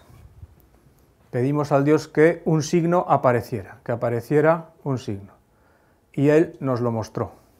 Y nos ordenó que atravesáramos por mitad del mar hacia Eubea para que cuanto antes escapáramos de la desventura. Bien, esto es cuando están regresando los héroes homéricos, esto es de la Odisea, regresando desde Troya, Y la idea de la etimología de teras partiendo de esta raíz, ¿qué nos indicaría, si fuera cierta esta etimología? Pues que teras, como prodigio, signo, procedente del más allá, es algo que en origen es das durchkommen überqueren, esto es el atravesar, el, venir a través, teras. Aquí no aparece, pero mm, no me dio tiempo a incluirlo, pero lo interesante de Teras es que este no es el, tipo de testimonio más antiguo, sino que Teras, en griego, en los testimonios más antiguos, hace referencia a monstruos. Monstruos o animales monstruosos. Es decir, el signo divino no como algo neutro, simplemente una estrella que aparece en el cielo, por ejemplo, no. Es lo que en principio parece que, es el sentido de este texto, ¿no? que son unos marineros que buscan un signo para orientarse y entonces llega desde el cielo un teras, ¿no? pero eh, en los testimonios más antiguos significa monstruo, ¿no? es, es, lo que tenemos en teratología, por ejemplo, ¿no? teras, un monstruo, un, algo monstruoso, enorme, ¿no? pero específicamente hace referencia pues, a serpientes o a, animales extraños, ¿no? animales luminosos en realidad, que proceden, que atraviesan desde el más allá y son signos divinos. Esa es la idea del teras. Luego el tártaro, que también está claramente asociado a la, a la mitología y a la cosmología antigua.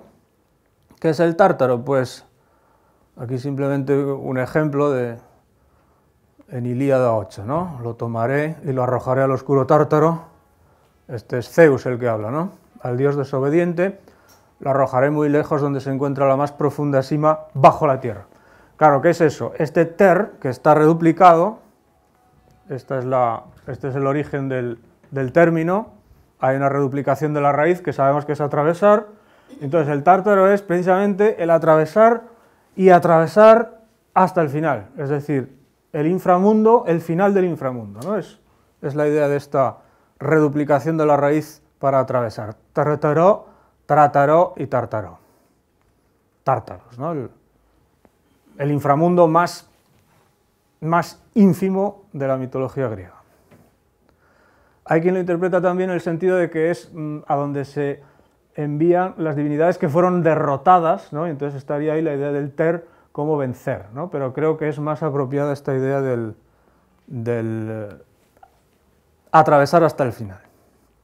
Aquí tenemos Mm, un esquema de pervivencias de estas raíces. Tenemos, por ejemplo, en indio antiguo, a partir de per, parwan, extremidad. Aquí en realidad hace referencia en origen al, al punto de unión de las extremidades a una especie de protuberancia, ¿no? Es lo que, lo que aparece, el sentido de este perwer o perwan, parwan, Luego el pertro o pertra nos da el griego petra, con disimulación, y es interesante también mm, examinar o comentar cuál sería la idea de este petra griego, porque hay quien lo, quien lo interpreta en el sentido de lugar hasta donde se puede atravesar, ¿no? cuando está uno excavando, por ejemplo, y entonces llega un momento que das con la piedra y esa sería la idea. ¿no? Pero también hay otra que es muy tentadora a partir de esa idea de que la piedra, ¿no? como comenté antes por el camino, la piedra es el límite contra el, eh, contra el más allá. ¿no? Entonces esta idea de que está indicando el límite, ¿no? per, el límite en el sentido de camino por donde se puede atravesar. Luego aparece termen, su tarman, terma, termen, termo, ¿no? termo terminis en latín, también es la idea esta del límite y el tártaros que acabamos de ver. Bueno, la aplicación sacral es muy variada. Tenemos para ter, por ejemplo, avatara, ¿no? que es también muy interesante comentar en relación con el teras. Si teras es algo que atraviesa desde el más allá y, se aparece en forma animal o en forma monstruosa, atravesando, resulta que una avatara en realidad es lo mismo. Hay que tener en cuenta que este término en sánscrito ha tenido una evolución muy, muy larga, dependiente ya de toda la teología de Vishnu, pero el que sepa un poco de mitología india sabe que son los avataras de Vishnu, que son las encarnaciones de Vishnu en diversas corporeizaciones materiales y resulta que las más antiguas son animales. Es decir, el, pez, la tortuga, el hombre león. entonces, avatara literalmente es eh, atravesar hacia abajo. Es decir, atravesar hacia abajo desde el cielo, una divinidad atraviesa y se encarna. Se encarna en un animal, de manera primaria, un animal.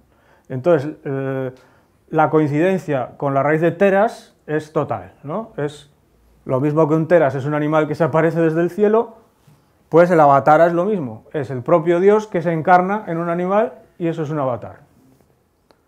Tenemos también tirtha, que es otra palabra sánscrita para vado, lugar de cruce, aquí está la raíz, un poco alterada, pero es la misma raíz, resultado del grado cero, y viene a ser santuario, ¿no? meta de peregrinación santuario en el sentido de lugar de cruce, lugar hacia donde se puede eh, entrar en contacto con la, divinidad. Bueno, no sé si me va a dar tiempo a comentarlo todo en detalle, pero podemos ver eh, algunas fórmulas que aparecen en las plegarias hititas, en las que eh, aparece la expresión verter las palabras. ¿no? La plegaria que les hago a los dioses, viérteles las palabras a los dioses y que ellos me escuchen.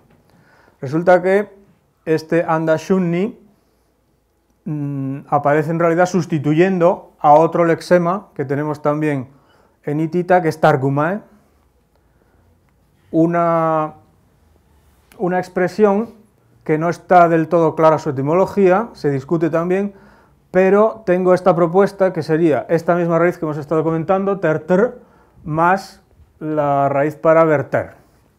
Entonces, verter, que está aquí en este, ver, en este nuevo lexema para verter, resulta que está también en el Tarkumae. Resulta que Tarkumae, curiosamente, es quizá la única palabra de origen anatolio, es probablemente de origen lubita, la única palabra de origen anatolio que ha llegado hasta el castellano.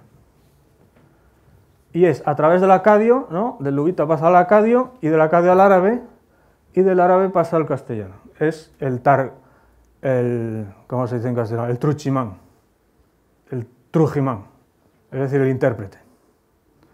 Tarjuman, targumanu, targumanu, targuman, targumim en hebreo, que son los intérpretes, entonces son los que vierten, los que vierten o recitan ter, ter, los que vierten a través.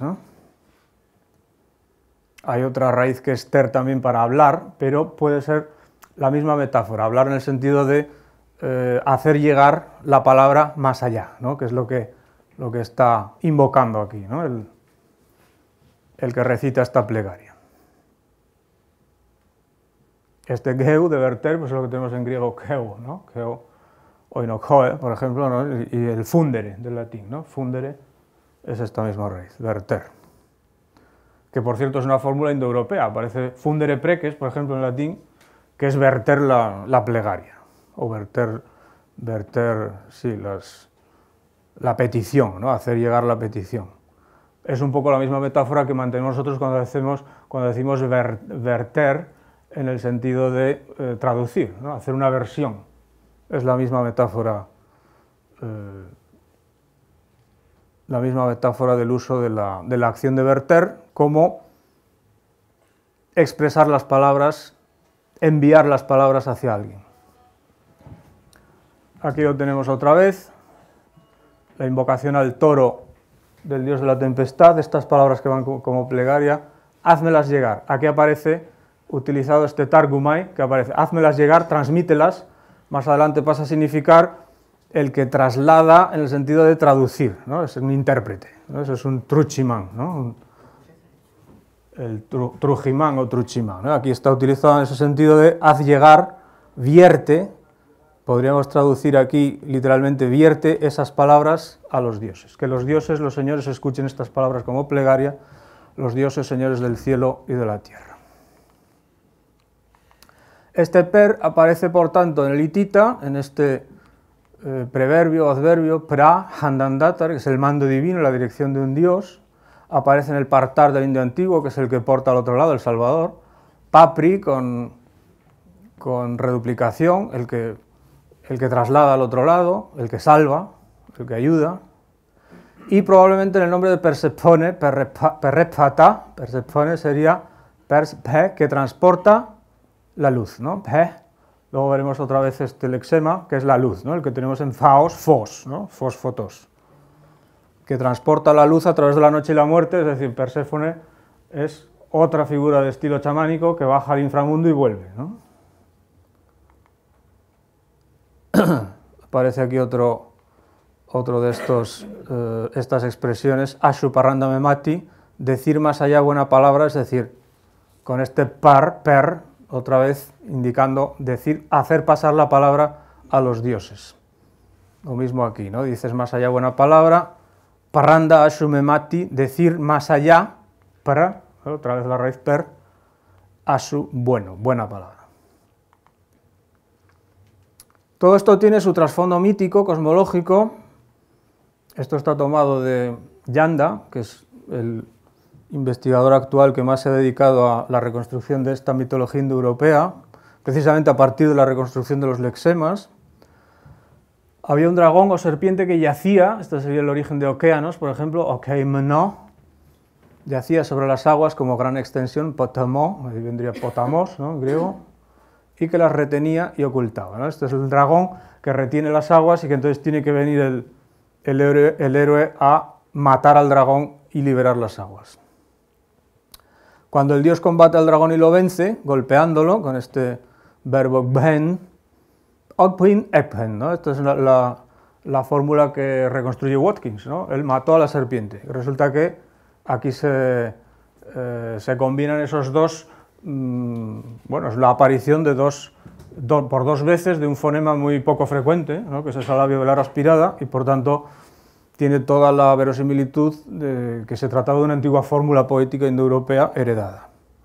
Lo, somete, esta es la, raíz que ya hemos visto, y se instaura como gran señal el eje del mundo entre el cielo y la tierra, que es ese árbol que comentamos antes, o poste inclinado, que sostiene el cielo uniendo el ombligo de la tierra con el inmóvil polo celeste. El héroe descuartiza al monstruo y lo divide, esto es lo que tenemos aquí, la abertura, este es el origen de caos, ¿no? griego caos, abertura. Y en lo alto se instaura el cielo, Dios como Padre, ¿no? es lo que vimos antes de Padre Cielo, Padre y Dios personal.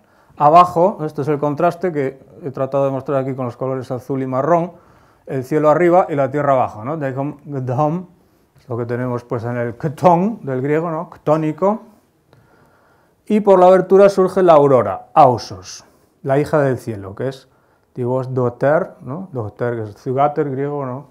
Daughter en inglés, etc. Que resplandece como la plata, Arguni es la plata, y cuando se eleva, Bergenti, en la bóveda celeste. Bueno, esta idea de la aurora elevándose, eh, lo vemos en la diapositiva siguiente, ¿no? También fueron liberadas de la serpiente las aguas, da, las vacas de la mañana, osrillas goes, goes, las vacas, las vacas de la aurora, esto es derivado del, término para, la aurora, tenemos aquí, osos, y quizá incluso el sol, que vimos antes también, y sus derivados. Bueno, quería comentar brevemente algo sobre la aurora y esta imaginería zoomórfica en el cielo. Resulta que la aurora en relación con esta divinidad céltica Briganti, lo que tenemos es un nombre, este, este nombre que vimos antes, Ausos, deriva de eus o us, que es brillar, pero brillar en tono rojizo, arder, no es brillar en tono blanco, que sería el arguni, que es lo que nos da la, plata, ¿no? arguros y todo eso.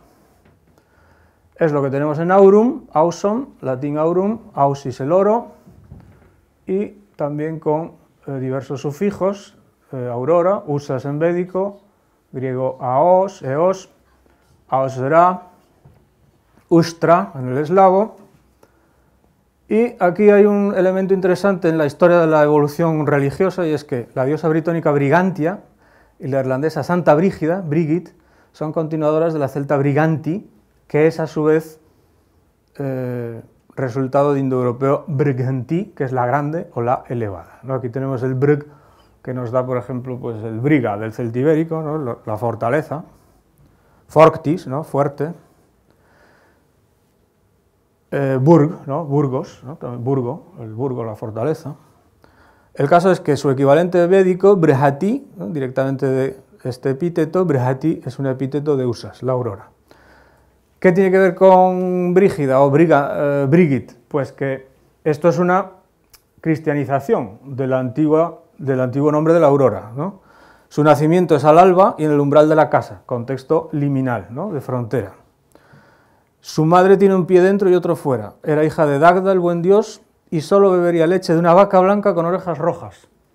Esta es la idea de su asociación con las vacas y coincide también con esa imaginería védica para la aurora que solía compararse con vacas rojizas. Es decir, en el mito o en la cristianización de Santa Brígida estamos en realidad eh, recogiendo tradición indoeuropea a través del celta que se corresponde con gran exactitud con lo que encontramos en el, en el, en el contexto de los himnos védicos y esa asociación con las vacas rojizas, es decir, la idea de que las vacas rojizas son la aurora misma, es otra de estas ideas de la aparición de elementos zoomórficos en el cielo, asociación de eh, esos, mm, luego veremos también algún ejemplo, esos elementos zoomórficos que estaban en el techo de la cueva y que se proyectan a la bóveda celeste.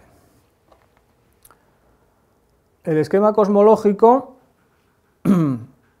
de este pilar del cielo, pues ya lo comentamos antes, resulta que eh, nos lleva a este contexto de los relatos teogónicos del nacimiento de los dioses de la tormenta por el costado. Estas dos raíces que ya hemos comentado, pues mm, indican esa idea de atravesar el espacio desde el cielo a la tierra, el rayo golpea o atraviesa el árbol, es decir, el árbol cósmico, el roble, que es el que atraviesa el cosmos, desde la estrella polar, pasando por el centro de la Tierra hasta el centro del inframundo, y esta es la palabra que reconstruimos para el roble, que es el percu, que es el quercus del latín. Y está en relación, obviamente, con estos percunas, divinidades bálticas del rayo, percunas, percons y Thor. Ya hemos visto que es la misma raíz del trueno, pero también están relacionados con el árbol, ¿no? Thorslund, Thorslund del bosque de Thor. El rayo golpea o atraviesa el árbol, el roble. Entonces el per está aquí funcionando en el nombre del árbol, el roble, percu, y también es la acción de atravesar. Es el rayo que atraviesa y el percu es, por así decir, el atravesado por el rayo. Percu, quercus, ¿no? latín quercus. Yggdrasil es el nombre germánico de este árbol cósmico que sería la encina del corredor de Ig. Drasil, Ig, Yggdrasil, invirtiendo los términos del compuesto, es decir, el caballo del terrible. ¿Quién es el terrible? Odín. ¿Quién es el caballo? Sleipnir, que es un caballo de ocho patas, mítico, y la idea de que es corredor, luego veremos también con, qué, tiene que tener, eh, con qué puede tener que ver el, hecho de que para los indoeuropeos era el animal más veloz que existía y aquí precisamente es de ocho patas porque es más veloz que ninguno. Corredor era un epíteto normal para los caballos, ¿no? por ejemplo está en la, en la etimología de horse. Horse es la misma raíz de cursus, es decir, es el que corre. Aquí tenemos la idea de ese árbol cósmico eh, de Yggdrasil germánico asociado a los tres mundos, el Midgard, el Asgard y luego el inframundo, y, como vemos, recorre los tres niveles, hay luego eh, esquemas mucho más complejos, esto está muy simplificado, y hay también un camino, digamos, para transitar entre uno y otro, que es a través del camino del arco iris, es el que aparece en la mitología germánica. Bueno, tenemos aquí otros ejemplos de esta pervivencia de la raíz per, los y los del roble, los ninfas perkenias, el quercus, que ya comenté antes, el galo ercos, aquí es el fenómeno de desaparición de P en celta, Erquinia silva, Ferguna en germánico, aquí en cambio la P pasa a F, en todos estos términos germánicos. Bueno, el caso es que tenemos los dioses de la tormenta con una doble estirpe, tenemos la estirpe celeste y la estirpe terrestre. Es decir, el cielo, cuya simiente impregnó las entrañas de Kumarbi, este es el que generó, el que engendró al dios de la tempestad, Anatolio. Y luego resulta que también hay una, eh, hay una estirpe terrestre, ¿no? Kumarbi viene a ser la madre, aunque no es la madre, es el que se tragó el semen y resulta que luego engendra al dios de la tempestad en sus entrañas. Y esta evolución es sumamente interesante y es que de Percu, roble, pasa a gótico Ferjus mundo, es decir, ese roble es el, árbol cósmico, que pasa a significar el mundo en la mitología germánica, es decir, todo el, exactamente, todo, todo el cosmos en realidad es el árbol, el árbol es el cosmos. Aquí tenemos un esquema muy simple, pero que coincide con muchas de las cosmologías chamánicas de, gran parte del mundo. Por ejemplo, este creo que es, de los mayas. El camino del sol a medianoche, la morada de los dioses, la morada de los muertos, en fin, un esquema bastante generalizado con esa columna que atraviesa de arriba abajo el cosmos. Bueno, hay otra propuesta que hice aquí para entender por qué aparece el oso en el ritual, de esto hablé ya también en mi charla anterior, pero tenemos aquí pues el, sí, el oso, el león ha dormido, aquí es una invocación a los árboles para construir el palacio del rey.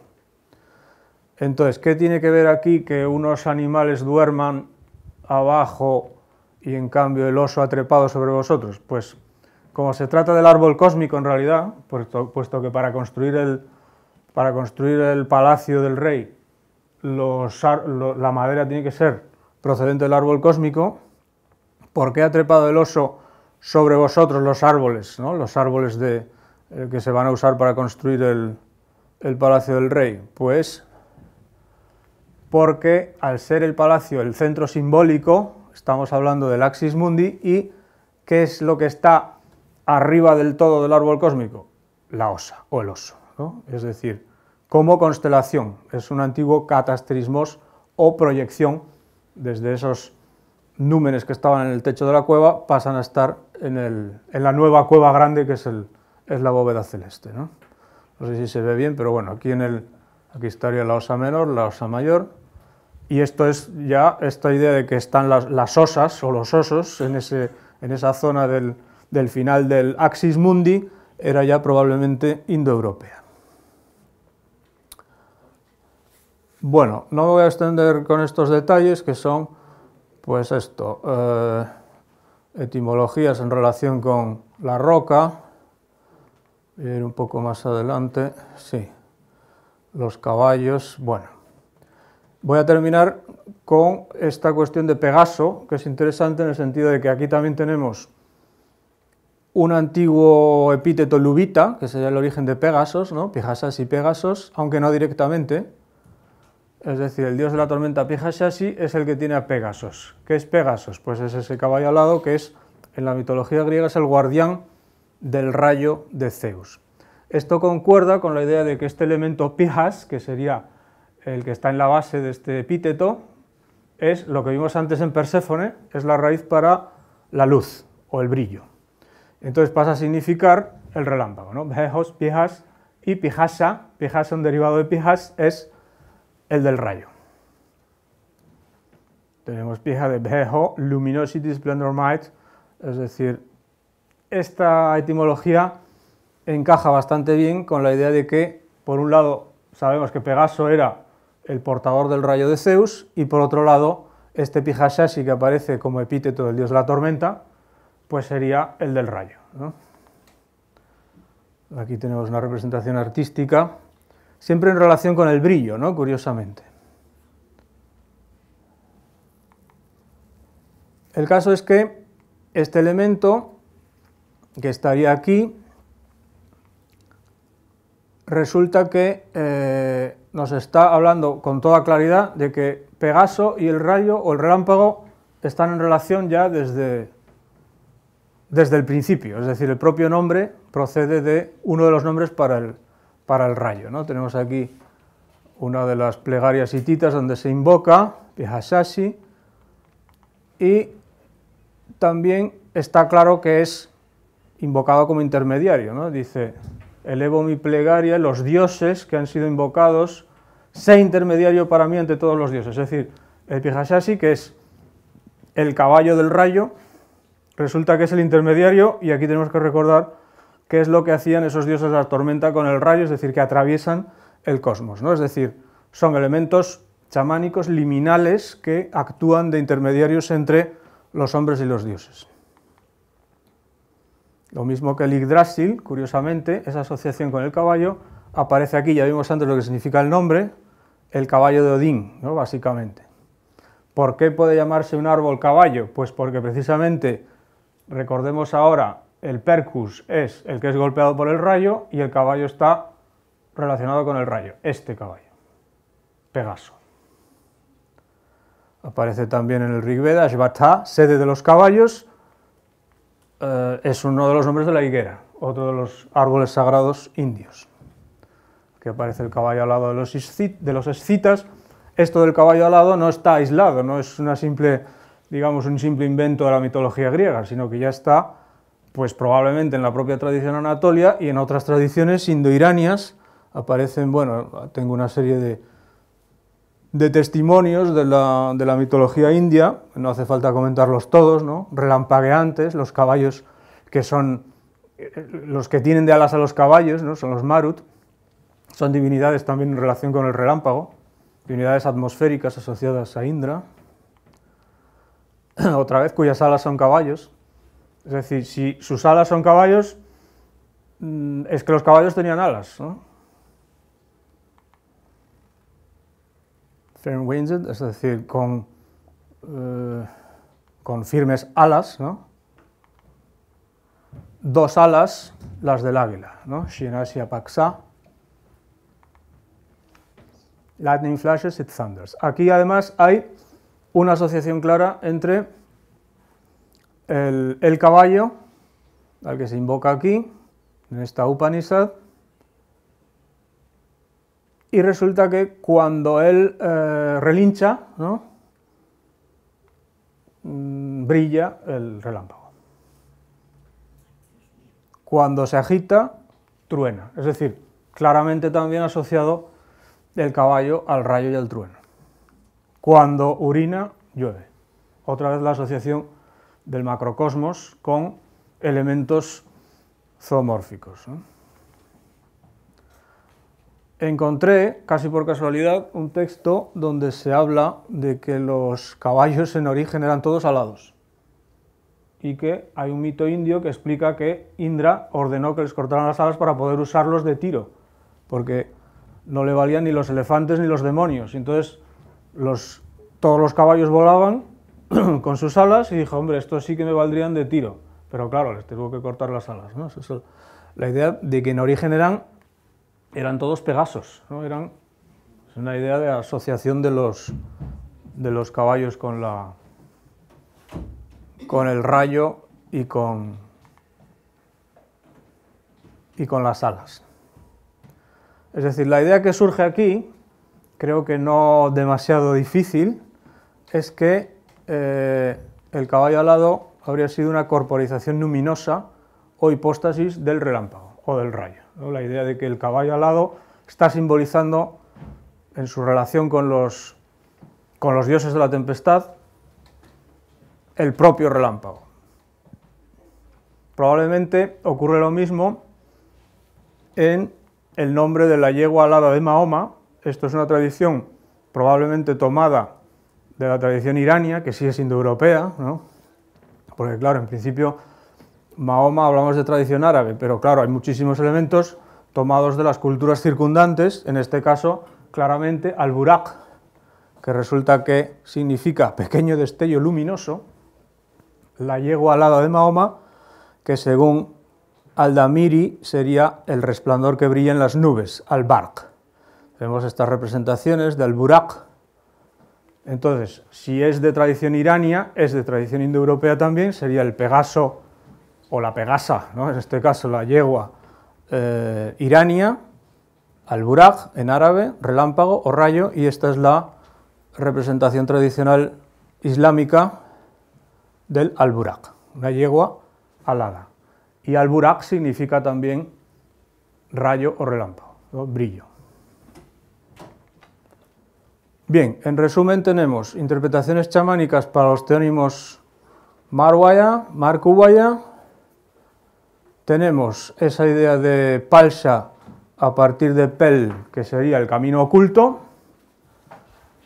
tenemos las divinidades del trueno en relación con las raíces trascendentes, Per y Ter, tenemos el oso como constelación en el extremo del árbol cósmico, y en cuanto a las divinidades hípicas, no entré en el caso de Pirua, pero lo tenemos con esa misma raíz, es decir, una divinidad anatolia asociada a los caballos y que tiene la raíz para piedra, es decir, es el Poseidón Petraios, lo mismo. Está asociado a la idea de que los caballos surgieron de la, de la roca, y lo que ya comentamos hace un momento, este Pihashashi que da origen al Pegasos, Piha Behos, el brillo, en, relación clara con el, con el árbol cósmico, Yggdrasil, el árbol de Odín, y el caballo alado como la corporización luminosa del relámpago, aclarando ese proceso que enlaza Pihashashi con Pegasos. Muchas gracias por su atención.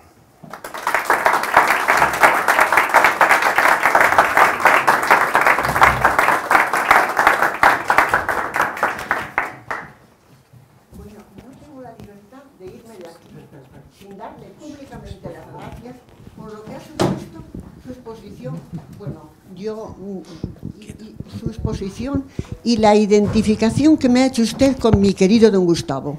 Es como si hubiera hecho una síntesis de su biografía para mí. Y me, además me ha dado la respuesta que yo, como católica, eh, eh, vengo demandando rabiosamente, impulsivamente,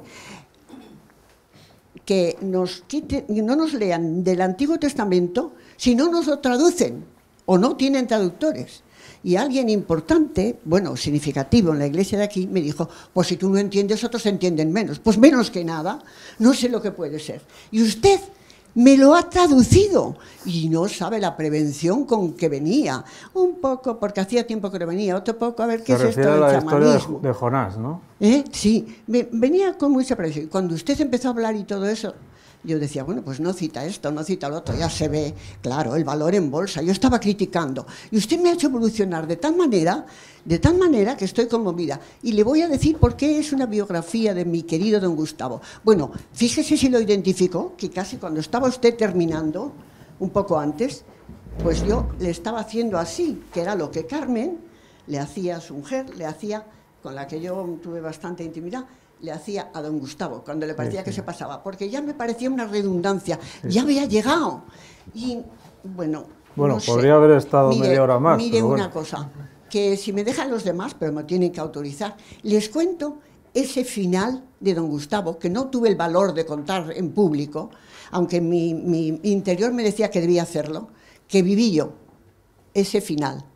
Y eso me explica el por qué en el aniversario de don Gustavo en una hoja que viene en la Nueva España los jueves, eh, se llama Esta Hora, que a veces no tiene mucho interés para los demás, pero hacía un cuadrito pequeño en que decía el último filósofo. ¿eh? Y hacía un, un, pequeño elogio, una revista católica. Y ahora lo entiendo a través de su explicación y de esa... ¿Lo puedo contar? Esa última vez que vi a don Gustavo, porque no lo saben. Pero claro, eso es verdad porque yo estoy a dos pasos del pijama de madera y no voy a, por la reputación ante ustedes, no voy a dejar de ser quien soy. Por el parecer no voy a dejar de ser, como no lo dejó don Gustavo. ¿eh? Bueno, ¿lo cuento o no lo cuento? Aquí el jefe. No, no, oye, si no queréis que lo cuente, no lo cuento. Trataré de ser breve, pero si no queréis, oye, ya nada, ¿eh? Me voy con ello. Vosotros os lo perdéis. Vale, lo cuento. Cuéntalo, hombre, bien, por lo menos te has atrevido de salir del rebaño, hombre. enhorabuena. Bueno, pues veréis, yo, yo, desde una óptica diferente me habían aconsejado, hoy como en mi segunda licenciatura, convalidando cosas y tal, no, no de ninguna manera, me decía Inés de la Ballina, que primero había hecho filología conmigo, luego hizo otra cosa, en fin, me decía, no, porque mira, que es que don Gustavo a los católicos los machaca, ¿eh? Y no lo vas a resistir porque tú no te callas. Pues eso, llegamos a una verdadera amistad desde ideas diferentes, por lo mismo que yo le admiraba a él, él me admiraba a mí, decía, por la libertad por el valor de defender lo que cree. Yo digo, por eso lo admiro usted. Pero había allí católicos, apostólicos, romanos y románicos callados como, cobardes cuando él decía esto. Sí, románicos desde aquellos tiempos, de esos enquistados en un ritualismo vacío, sin corazón. Bueno, entonces yo le decía, don Gustavo, que eso que usted dice que es una taza, es una cucharilla, que usted no es un usuario. Y yo sí. Y tuvo la delicadeza de que cuando yo llegaba tarde, de, bueno, con los seis hijos y viuda, en fin, allí a la facultad, me resumí al entrar lo que llevaba dicho. O sea que eso depende. Es un hombre que donde vio la autenticidad, él se puso aquella, de aquella parte. Y bueno, en concreto y en abstracto, que yo le, decía, bueno, en el brindis que le hicieron, lo que le hicimos en la facultad, espero y confío y, y ruego, porque si un día usted ve claro lo que ahora denigra, tenga el valor de defender lo que ahora denigra. Y entonces, la última vez que le vi, desde aquí, desde la fundación, no había tenido el valor de ir a ver a Carmen por, no encontrarla en aquella situación y le llevaba unos dulces que me había dicho don Gustavo que era lo que le gustaba. Y me acompañó él a su casa. Como no estaba, yo, es la última vez que vi a don Gustavo, al poco murió.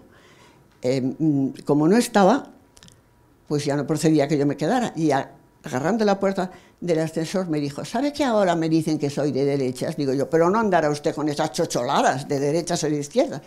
Entonces, pero ya sabe usted que yo pido, yo no soy esclava de ningún partido, pero yo pido porque si usted ve, y yo creí que había dicho la última palabra y me iba muy chula, pero él, como no permitía que nadie dijera la última palabra, un poco soberbiosillo sí que era, pero con fundamento, que otros lo son sin él, agarró la puerta y me dijo, ¿sabe? Y yo pido porque usted vea me dijo, ¿sabe que le debe estar valiendo, que le está valiendo? Es lo último que vi de él. Me dijeron que lo contara en el periódico, pero como yo no quiero sonar por cobardía, porque la gente en grupo me asusta, el individuo, cada individuo, me interesa muchísimo, porque sé que es un ser único, tenemos algo para compartir con los demás, por eso somos únicos. Pero no me atreví. Pero ahora parece que, bueno, gracias otra vez porque usted me ha traducido lo que llevo tiempo, tiempo, tiempo pretendiendo. Y los de mi bando no me lo supieron traducir. todo el Antiguo Testamento, todo. Una explicación, una afirmación. Gracias, gracias, gracias. Y gracias a vosotros, porque como he vivido de la palabra, tengo mucho rollo. Muchas gracias.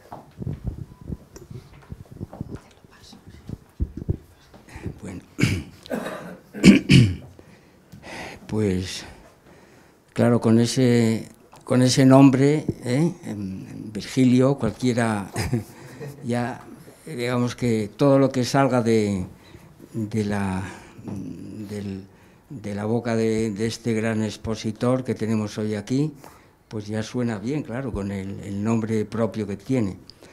Bueno, yo me he quedado naturalmente estasiado, vamos a usar esa, esa terminología chamánica, porque me ha, parecido escuchar una verdadera sinfonía eh, lingüística, ¿no? Es decir, que es increíble la capacidad que, ha tenido nuestro orador para hacer una composición filológica a través de, bueno, yo las he anotado aquí, he tomado la, me he tomado esa, esa molestia, ¿no?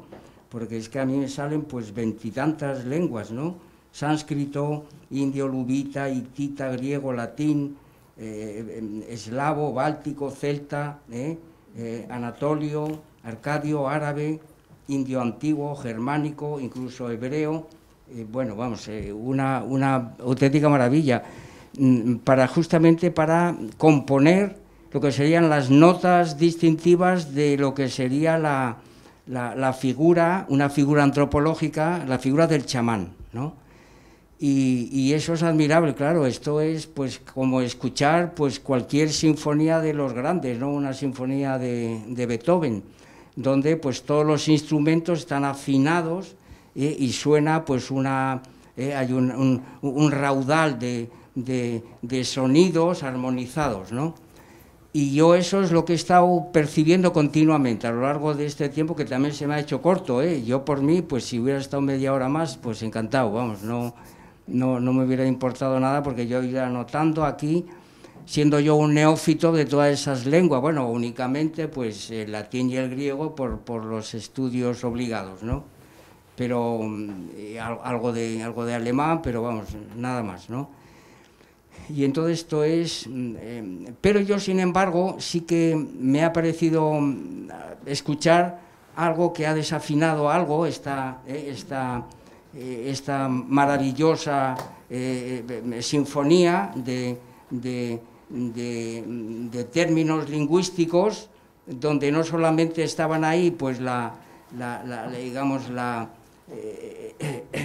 su morfología escrita sino que nos remitías a los a los significados y eso pues naturalmente dio un juego extraordinario esas combinaciones esos ajustes esa simploqué entre todos los, significados, pues algo maravilloso. Bueno, ¿dónde estarían aquello que, mm, aquellas disonancias que me... Bueno, pues el intento por tu parte a la hora de eh, ofrecernos una panorámica en la que, eh, eh, pues, no se hacía mucho distingo entre lo que, lo que es propio del chamán, que sería naturalmente la magia, y ahora quiero incidir ahí, ¿verdad?, desde eso que, que tú anunciaste al principio, la idea general, que naturalmente pues hay que tomar de, de, de Sir James Fraser, claro, naturalmente, ¿verdad? Pero también de algunos escritos de don Gustavo, sobre la magia y sobre los milagros. Y yo es lo que quiero traer aquí sobre la mesa, porque me parece que es hacer... Bueno, eh, entonces esa, esa disonancia consiste precisamente en que, precisamente al ofrecernos esta sinfonía de sonidos, no queda claramente eh, determinado lo que son las operaciones del chamán, ¿verdad? De aquellas operaciones que tienen más que ver con el sacerdote, es decir, en una palabra, ¿eh? la, diferencia entre magia y religión. A mí me parece que eso ha quedado ¿eh? pues, difuminado, diluido precisamente en aras a una estética eh, lingüística realmente asombrosa, ¿no? que, a la que yo me, rindo porque, bueno, mm, eh, que, me parece absolutamente eh, increíble, ¿verdad? Bueno, mm, vamos, en, una palabra, que mm, mientras las operaciones, claro, como has hablado de cultura subjetiva, ¿no? Las operaciones del chamán, pues tienen más que ver con la magia, que con la religión. Esta es la cuestión, este es el, punto de vista que yo he querido eh, encontrar en, todas las, eh, eh, todas las mm, em, posturas, todos los textos que he leído del profesor Bueno con respecto a este asunto, ¿verdad? Ahora bien, mm, mm, y es en lo que quiero incidir, que, que de alguna manera que, que quedaran demarcadas ¿no? estas dos funciones, en tanto en cuanto el chamán pues hace um, operaciones por, por, semejanza y por contagio. Y su objetivo es curar. Esto también lo defiende don Gustavo precisamente en ese artículo que escribe, parece que es en el 2010, sobre los milagros de Santo Domingo de la Calzada. Y dice que el chamán no es un impostor, porque tiene una función dentro del, clan que es la de curar. Y, eso le acerca a la medicina. ¿eh? Claro, naturalmente una medicina, pues podrían decir bárbara, claro, donde todavía no se puede hablar propiamente de, medicina, sino curaciones chamánicas, pues esto, ¿no?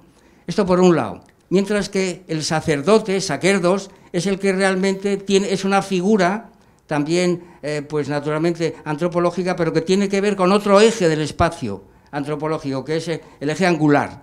Mientras que al chamán hay que situarlo más en el eje circular, esta es la, o, radial también. Bueno, y radial, claro, naturalmente. en la medida, exactamente, en la magia contaminante radial. Muy bien, en ese sentido estamos completamente de acuerdo. Este es el planteamiento que, quiero hacer yo. Y luego, también me parece que esta sinfonía que yo he escuchado, también podría decir, borra las diferencias entre la religiosidad primaria y la secundaria que quisiera yo que abundaras un poco en esas diferencias, porque has dado eh, pues, eh, motivos para ello, ¿no? Por ejemplo, cuando el héroe destroza los monstruos, claro, naturalmente ahí la religiosidad secundaria, celeste, está, eh, aunque haya figuras zoomorfas proyectadas sobre el cielo, pero los, digamos que los dioses de las mitologías hindúes y, y grecorromanas, pues no son compatibles con los númenes animales y por eso pues tienen que destruirlos. Has citado al cancerbero y yo inmediatamente me he acordado de Heracles. Eh, eh, le mandan que, lo destroce, ese, ese cancerbero, ese guardián del infierno, ¿no? De manera que la religión secundaria es incompatible con la primaria. Y entonces esto es lo que yo quiero que también de alguna manera se pudiera abundar en ello. ¿eh? es decir, que por un lado, delimitar ¿eh? las funciones del chamán ¿eh?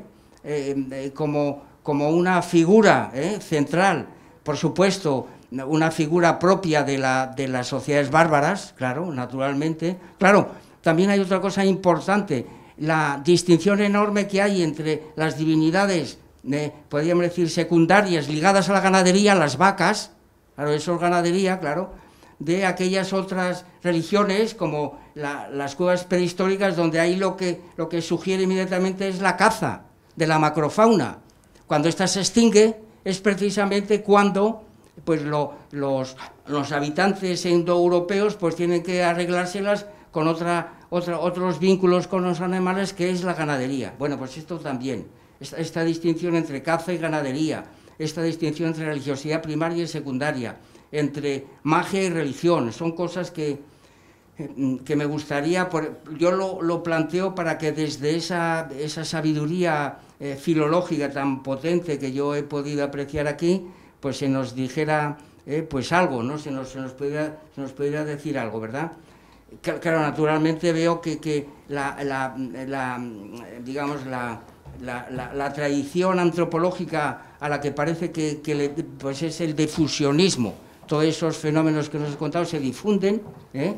Eh, por eh, esa, geografía que nos has, mm, nos has presentado aquí, entonces, pues claro, hay que, que, también hay otras, otras figuras que son el funcionalismo, el morfologismo, el, evolucionismo, el estructuralismo, pero que a mí me parece que, lo que a, lo que se ha dado prioridad aquí pues es al difusionismo, es decir, que todas esas aunque bueno, mm, si parece que no lo aceptas del todo, pues que, se, me, eh, que se me rebata, claro, naturalmente. Yo he, yo he podido apreciar eso. Y luego, finalmente, una, una pregunta como curiosidad debido a mi ignorancia. Es decir, cuando hablas de una de las características de estas divinidades, eh, pues eh, una de ellas es la descuartización y la resurrección.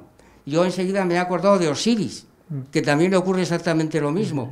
Entonces, como no he visto yo aquí una, eh, eh, alguna referencia, digamos, a la, a la, cultura egipcia, pues si de alguna manera se propagó hasta allí o, no tiene nada que ver, y es eh, porque yo esa nota distintiva, pues la conozco perfectamente de esa, de esa religiosidad, ¿no? Vamos, y luego, por supuesto, las figuras de la, del Antiguo Testamento, naturalmente Isaías y Jonás, claro que tienen que ver, de alguna manera, hay analogías con lo que se ha dicho aquí, pero son analogías de atribución.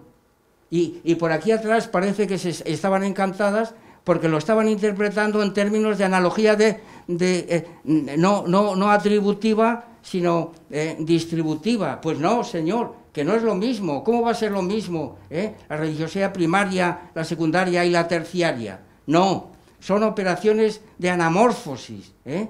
aunque tengan rasgos análogos, pero son analogías de atribución, eso por encima de todo, vamos, que, que, también de alguna manera desde la doctrina del materialismo filosófico, pues quede, quede, quede patente que aunque haya pues esto, estos, digamos, estas, eh, estos recorridos, estas, estas, esta transversalidad, pues que desde un punto de vista filosófico hay que delimitar, hay que, ya he dicho, entre, entre magia y religión, entre religiosidad primaria, secundaria y terciaria, entre caza y, ganadería. ¿eh? Y, bueno, pues esta es la cuestión que yo quiero, ¿eh? de alguna manera, a propósito de lo, de lo que he escuchado, pues plantear. Y de todas maneras, muchísimas gracias por esta eh, clase magistral otra vez que, que, que, nos has ofrecido. Muchas gracias, Virgilio. Bueno, muchas gracias, Tomás. La verdad es que son muchos temas muy complejos. Al principio expuse el problema de tratar de delimitar lo que es el chamanismo indoeuropeo con respecto a la idea mucho más genérica de chamanismo eh, que se maneja en antropología, que en realidad poca gente está de acuerdo en realidad a la hora de definirlo. Entonces, eh, sí, por supuesto, evidentemente cuando hablamos de indoeuropeo, estamos en una época en la que, pues, si nos movemos hacia el 5000, 4000 a.C., ya estamos en la religiosidad secundaria estamos de lleno en la religiosidad secundaria. Mm, es obvio que, eh, lo que lo que podemos entrever de la religiosidad primaria son restos, es decir, son pervivencias. Lo mismo que en la religiosidad terciaria hay pervivencias de la, de la secundaria.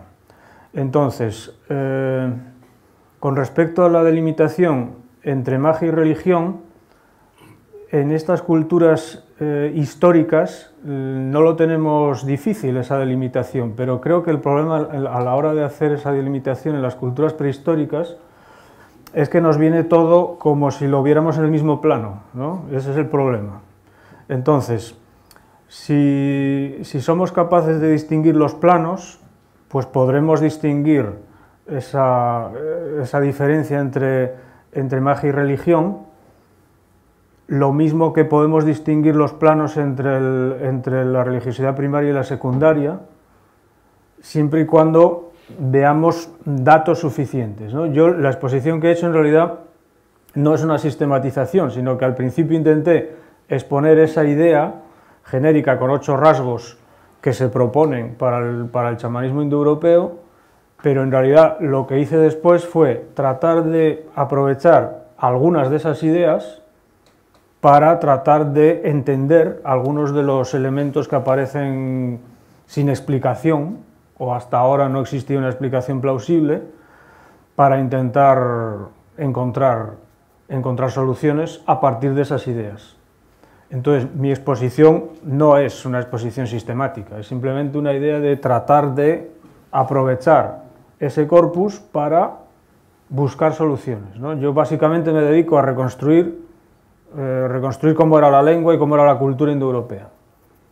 Entonces, si el, si el corpus del chamanismo, si lo podemos definir de alguna manera, me ayuda a entender esos fenómenos, pues entonces lo puedo aprovechar.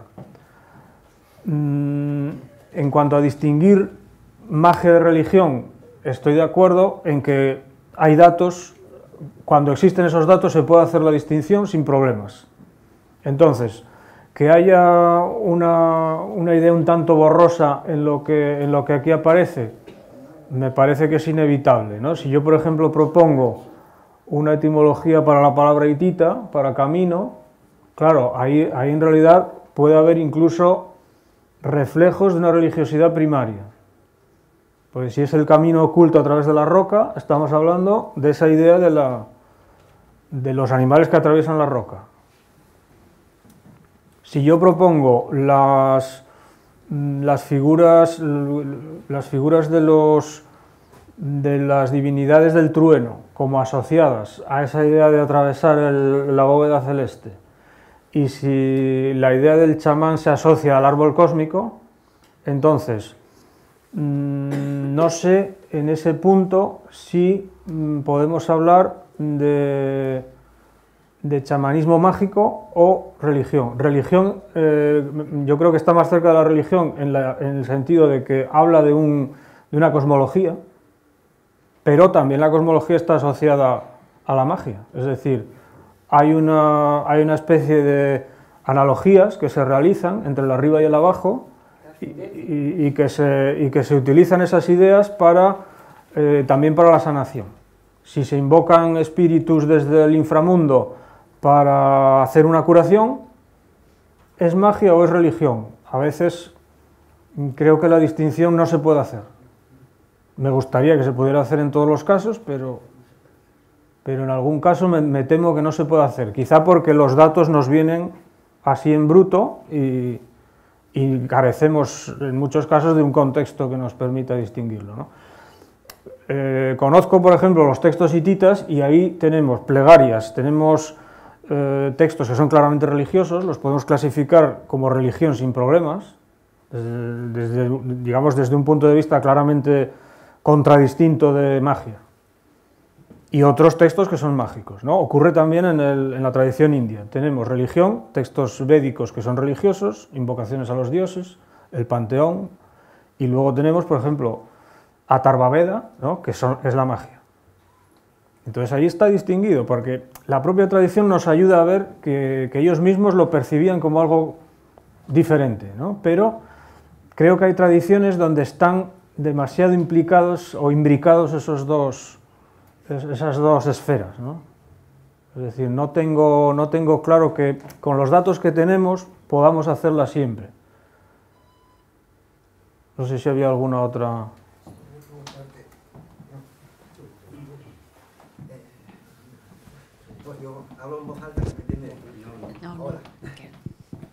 Quería preguntarte si en la cultura precolombina, en los pueblos precolombinos, hay algo de reminiscencias lingüísticas, chamánicas, teniendo en cuenta de que los pueblos siberianos en la época de la última globalización pasaron a América y poblaron todo el continente americano, si llevaron también ya de aquella pues su lengua, sus costumbres y se puede parecer algo a lo que hay aquí en Asia, Europa. Yo la verdad es que no he estudiado las lenguas de América y no puedo contestar a esa pregunta con precisión. Solo sé algo de la cuestión antropológica. Parece que sí que está demostrado que los pobladores de América proceden de Asia, en su mayoría, y también las, las similitudes entre el ritual chamánico de los amerindios y de Siberia, por ejemplo, o de Asia, es, es, muy, es muy amplia en muchos detalles.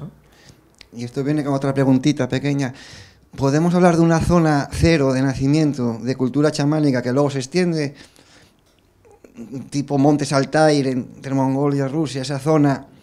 ¿O mm, podemos hablar de una amplia de una amplia zona de Asia, India, Irán. Claro, aquí eso enlaza con el, sí, me acuerdo, el, problema del difusionismo, ¿no?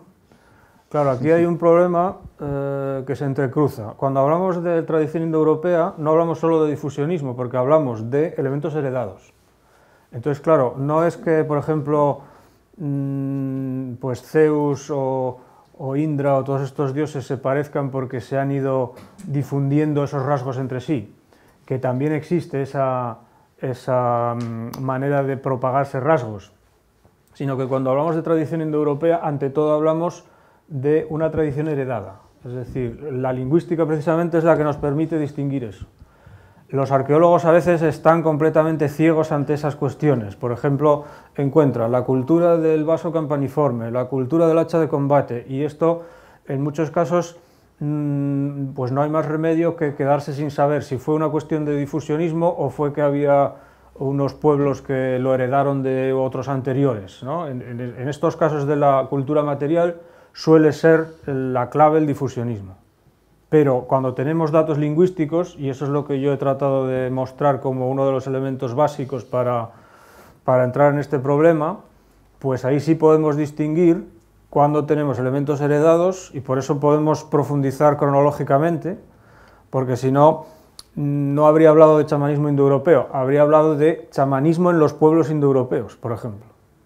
Pero no, he hablado de chamanismo indoeuropeo porque creo que esos rasgos son heredados, no son resultado de difusionismo básicamente, hay otros que sí.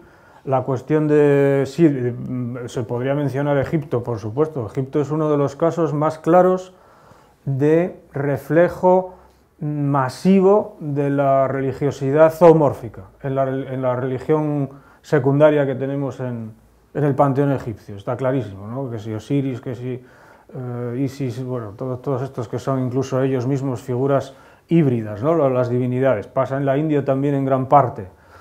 Eh, Ganesha, por ejemplo, que podría haber mencionado, aunque son figuras que tienen ya su propia tradición dentro de su propio ámbito cultural. ¿no? Ganesha es, el, es muy popular, es el dios de cabeza de elefante, es un numen híbrido.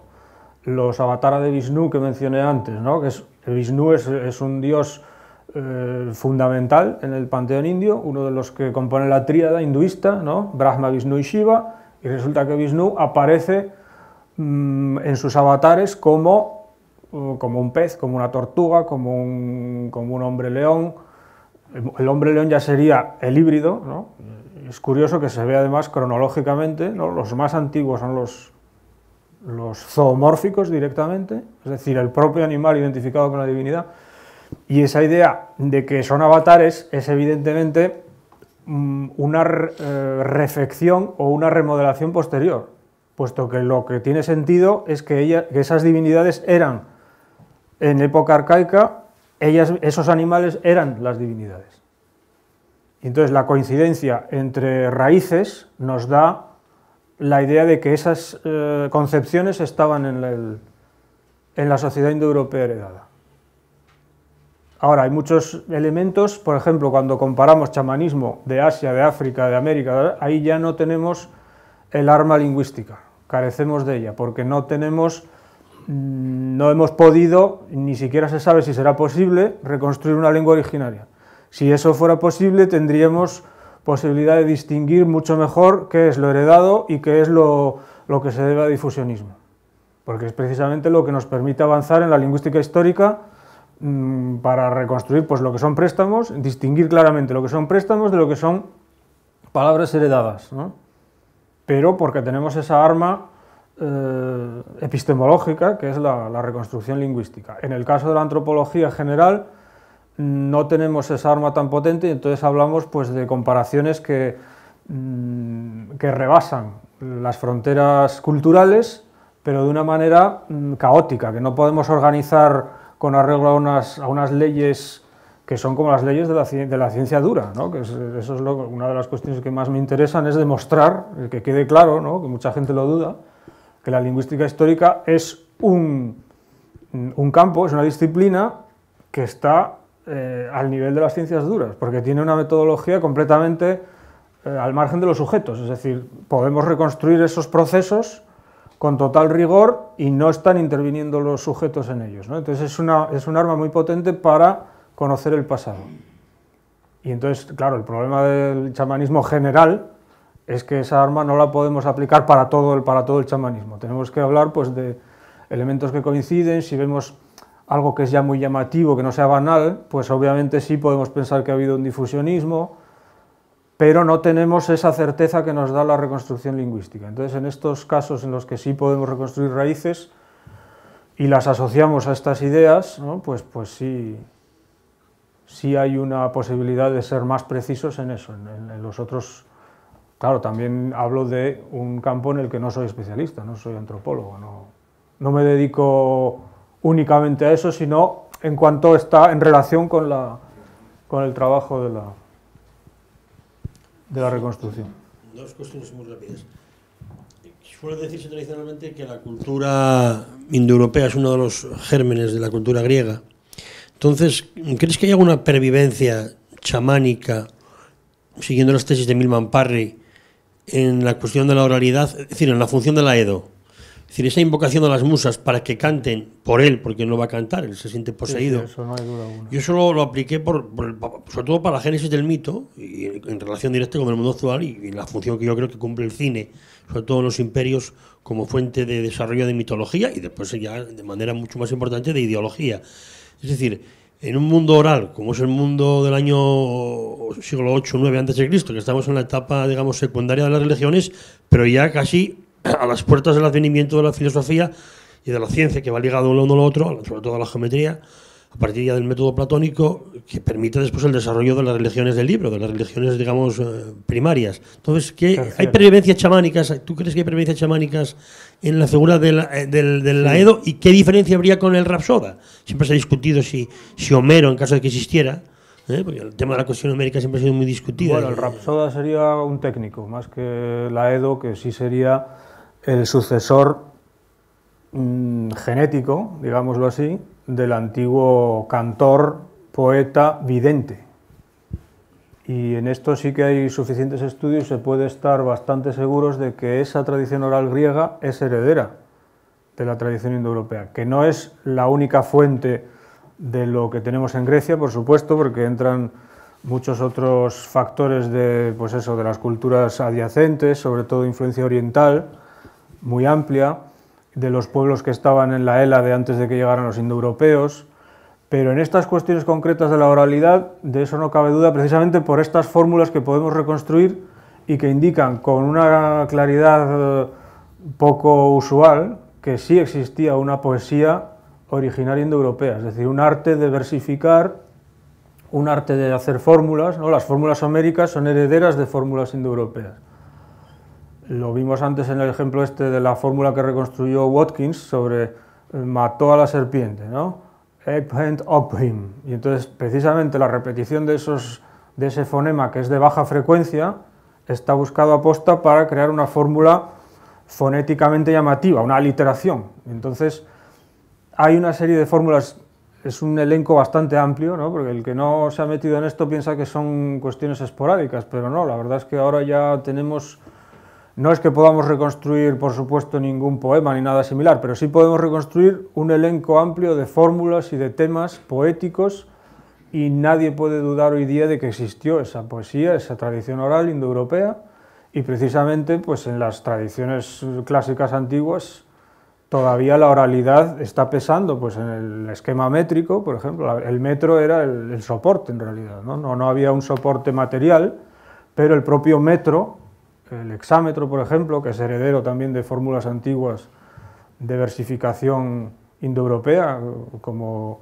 se demostró hace ya un siglo, más o menos, ¿no? al comparar el metro de óleo antiguo con, con metros de, de, la India y de Irán, ¿no? pues, pues que había una, una, métrica indoeuropea, aunque no podamos reconstruir exactamente sus, sus características. ¿no? Esto de la oralidad sí es, sí es un rasgo en el que podemos estar razonablemente seguros. ¿no? Entonces, la figura del Aedo eh, como un sucesor de esa figura del, sacerdote vidente, y ahí sí que sería más sacerdote quizá que chamán, pero ¿en qué sentido se puede entender como chamán? Pues cuando encontramos pues una asociación con el, trance, es decir, no es un sacerdote que realiza un, una función ritual ya establecida y sigue unos patrones, digamos, pues que están marcados por, un, por una especie de, pues no sé, una doctrina o algo similar. No, es alguien que entra en trance y que, y que entra como en locura. Y entonces eso que, podemos, eso que vimos antes de la comparación del Wates con Odín, Odín está encolerizado, Odín es el colérico. Y entonces, ¿por qué esa misma raíz es la de Wates, el que aparece en el Celta, no? O por qué tenemos el druid, ¿no? que es el sacerdote, es el sacerdote eh, celta, el druida, ¿no? pero que es el sabio del árbol. En ese sentido hay una sabiduría que no es exactamente la sacerdotal, o si queremos decir, en cierto modo, hay una figura presacerdotal que se acerca al chamán. ¿no? Podría haber, en cierto modo, una evolución, creo yo, una evolución eh, genética entre lo que llamamos sacerdote ya establecido en la religiosidad secundaria y lo que era en religiosidad que todavía tiene más de religiosidad primaria, más chamán que sacerdote. Entonces creo que no es fácil del todo hacer el corte entre las dos figuras, lo mismo que no es fácil en determinados contextos distinguir magia de religión.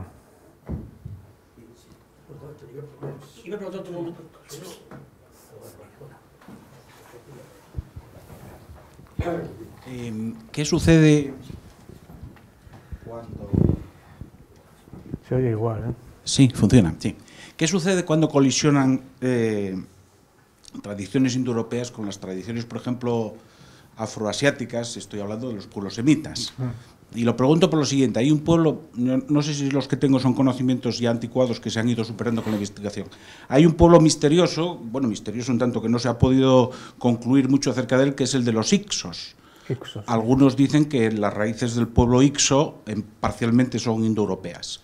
Eh, otros dicen que son de raíces fenicias, otros, bueno, ahí hay, hay, había mucha pelea, por lo menos cuando yo me interesé por ese asunto. Los Ixos invaden, eh, llegan a Egipto, derrocan la, la primera o antigua eh, monarquía egipcia y parece ser que están asentados en Egipto durante 500 años, cinco siglos, hasta el siglo XVI antes de Cristo, cuando son de nuevo derrotados y los principales perjudicados eran otros que iban con los ixos, que eran los hebreos. Entonces empieza ahí el periodo de la esclavitud hebrea y todo lo que luego cuenta la, la tradición judaica.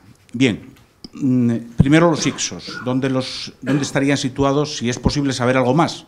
Y segundo, eh, cuando se empieza a hacer la, la, las teorías de, comparativas de las religiones, estoy pensando concretamente en un luterano que es Wellhausen, que es uno de los grandes comparadores de religiones, eh, no sé si es él o alguno de esa, estoy hablando de comienzos del siglo XX, o alguno de esa escuela que dice las tríadas, que has mencionado hace un momento, las tríadas de dioses, que las hay por todas partes en, el, en las religiones indoeuropeas, es decir, Thor, Odín y Freya, creo que es, ¿no? Y luego está Tutatis, Tamaris y Esus en los celtas, o Shiva, Brahman y Vishnu.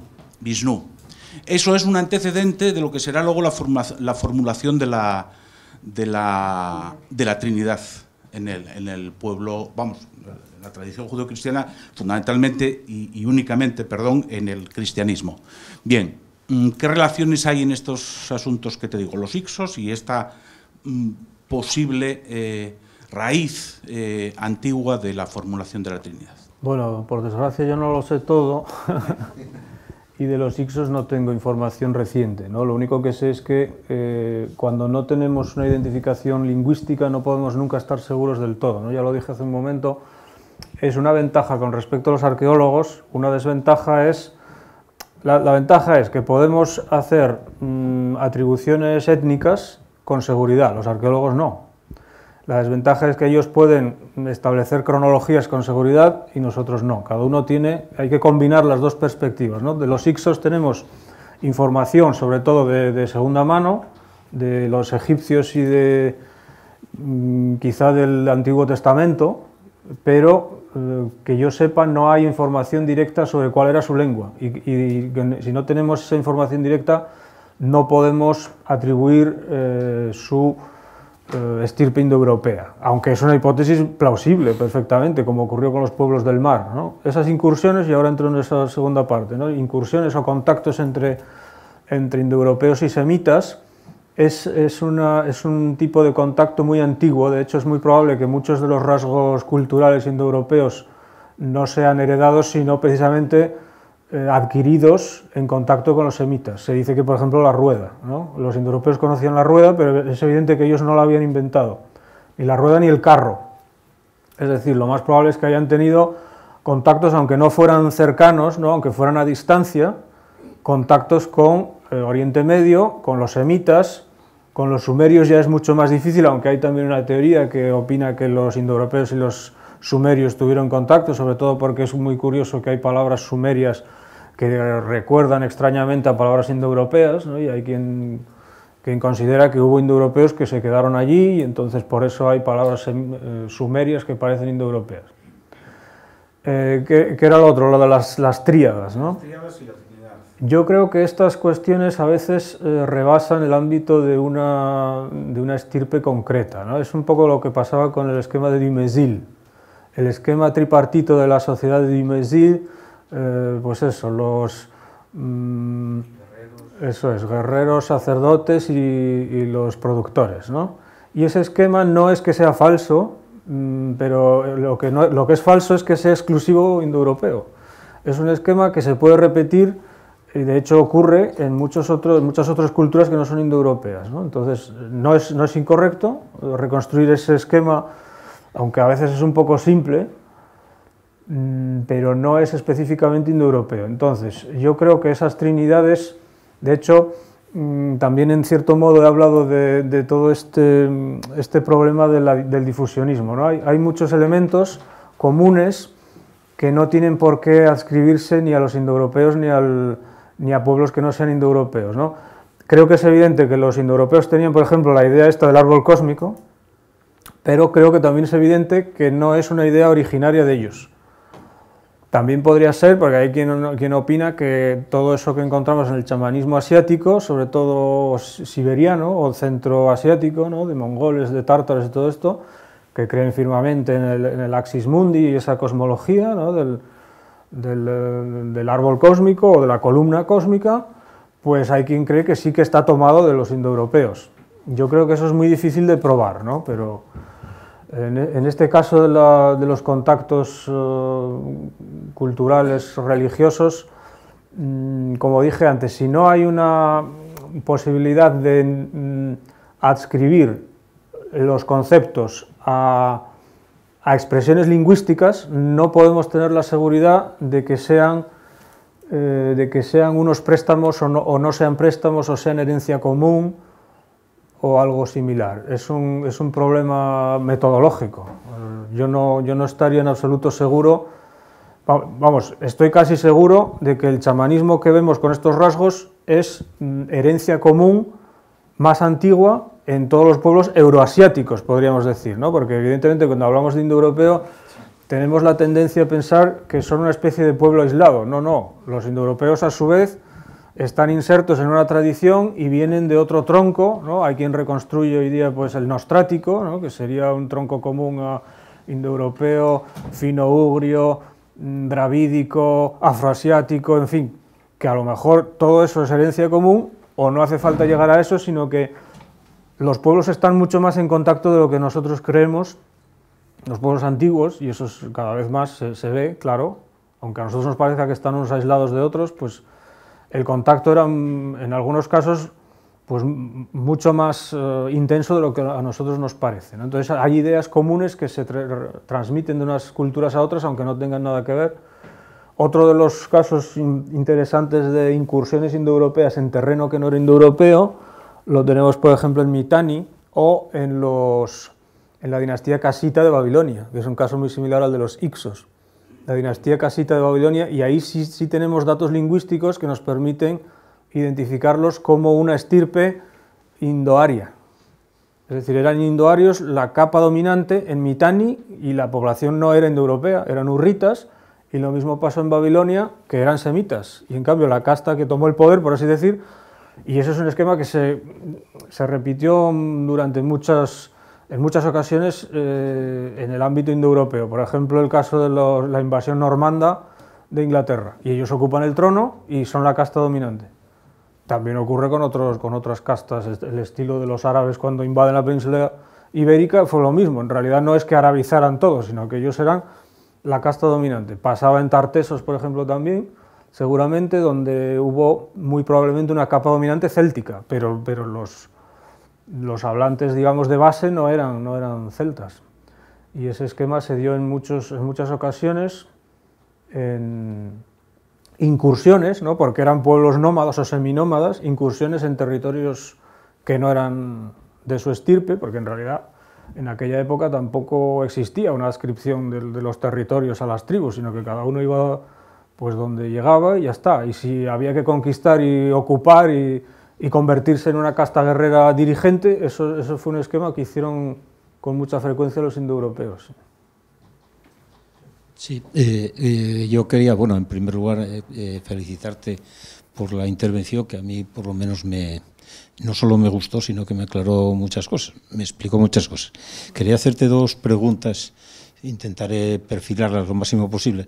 Es que estuviste hablando del oscuro tártaro y claro, eh, a mí la idea que se me vino a la cabeza es, cuando lees la poesía, eh, poesía griega, eh, hay expresiones a veces que, atribuciones que, que pueden ser claras, dice el anchuroso piélago, pero si dicen el oscuro ponto, a lo mejor está haciendo una referencia mítica, ¿no? El eh, oscuro cuando- ponto. eh, eh, el oscuro ponto. Sí. I- igual se refiere Sí, precisamente. bueno, hay, hay epítetos muy, muy significativos y muy reveladores. ¿no? Ocurre, por ejemplo, en Hitita, la oscura tierra. Pero la oscura tierra no se refiere a la superficie de la tierra, Eso se es. refiere al inframundo. Entonces, eh, precisamente, eh, pienso yo que a veces en la lectura de una poesía griega, si dice el oscuro ponto, está refiriéndose a que por ahí se llega. eh, a. Sí, aunque ahí ya no estaría yo tan seguro. Depende de qué palabra se esté usando para oscuro. ¿no? Sí. Hay un caso curioso ahí Ah, claro. con, el, con el ponto. El ponto precisamente es el, el mar negro. Sí. que por eso, además se sigue llamando negro.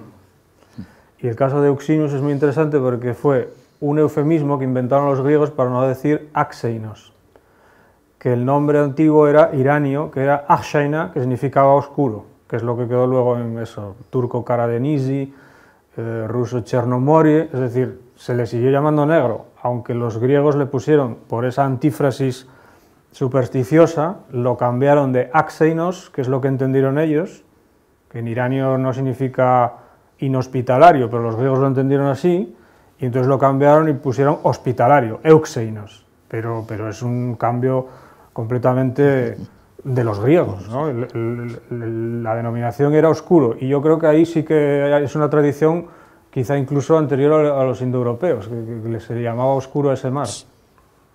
Y la segunda cuestión es eh, eh, cuando nos pusiste en una diapositiva que atribuías a la mitología americana también de los tres eh, anterior, era la esfera con unas escalas Sí, anterior, ¿te das cuenta, no? sí a los mayas. Ahí, ahí, ahí, sí. esa. Bueno, entonces ahí, eh, eh, yo viendo eso, me di cuenta de una cosa. No sé si conoces el, libro de Asín y Palacios, las, esto, la escatología musulmana de la Divina Comedia. Eh, Espera, ¿esto será el que habló de la escatología irania? No, no, eh, bueno, Los musulmana, círculos, dice. los círculos Eh, de- eso, los círculos y, las, y la escala. Sí, esos círculos escala. están tomados de la escatología irania. Claro, entonces no es musulmana, digamos, había No, eh, no. eh, eh, Asín corrigió Es que a los, musulmán a- hay poco. eh, a, a los italianos, a los expertos italianos, Sí, pero fue- resulta que sí, a lo sí, mejor es verdad, sí. hay Fue que el primero que vio que la escatología de la Divina Comedia está directamente tomada de la escatología irania. Los círculos Claro. es de eso, de los, de los zoroástricos y maniqueos y todo. claro, claro, eso. Sí, sí, pero, sí. pero también porque emplea em, eh, eh, Bueno, lo mismo pasa con el burak. las- eh, El los círculos este- y la y la escalera, es Y la decir, que los escalera. círculos los dibujan así en forma escalonada. de sí, eso. sí, sí. sí, sí. Y lo mismo pasa con el Burak, esa yegua alada, que aparece ahí atribuida luego que si Mahoma se dio un paseo por el cielo con la yegua y todo eso, pero eso es eh, mitología irania. Es igual, es el mismo caso. Bueno, muchas gracias.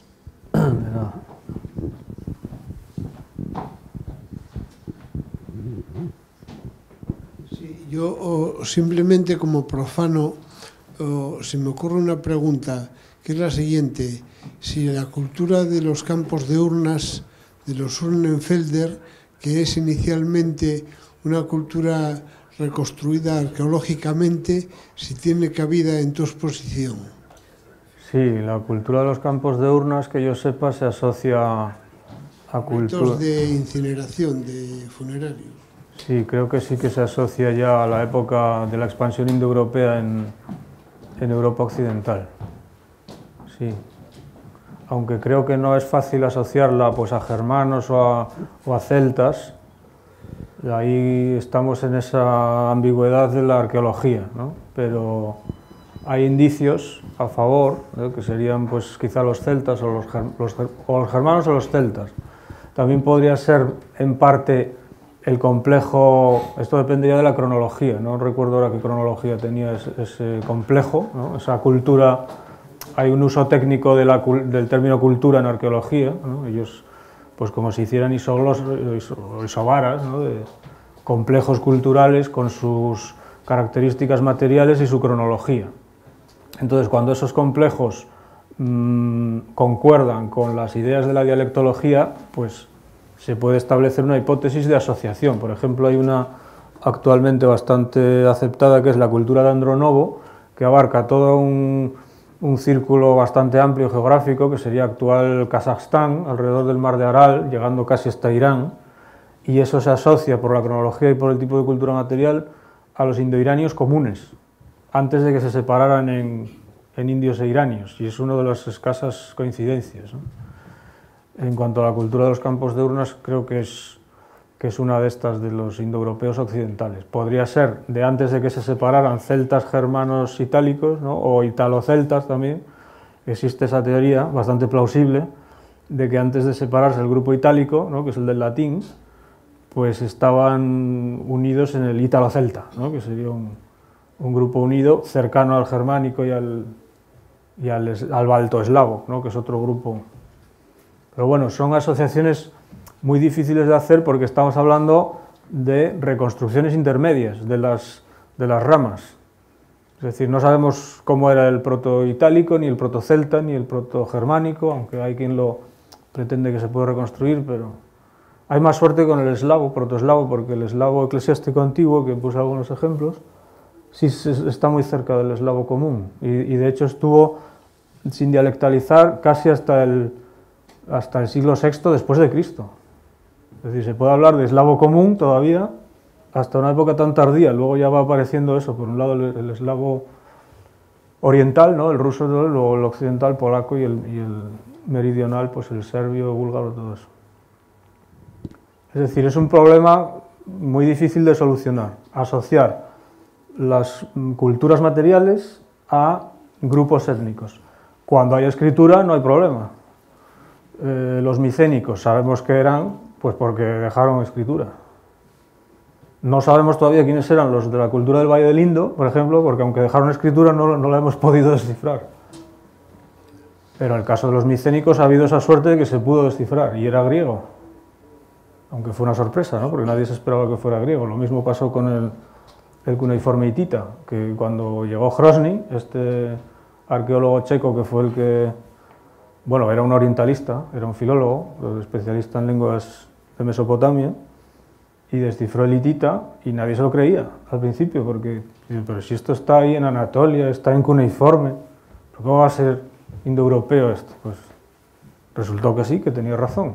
Entonces, cuando tenemos la suerte de tener restos materiales, restos históricos, entonces la, adscripción étnica, étnico-cultural es segura, si no son, son solo hipótesis.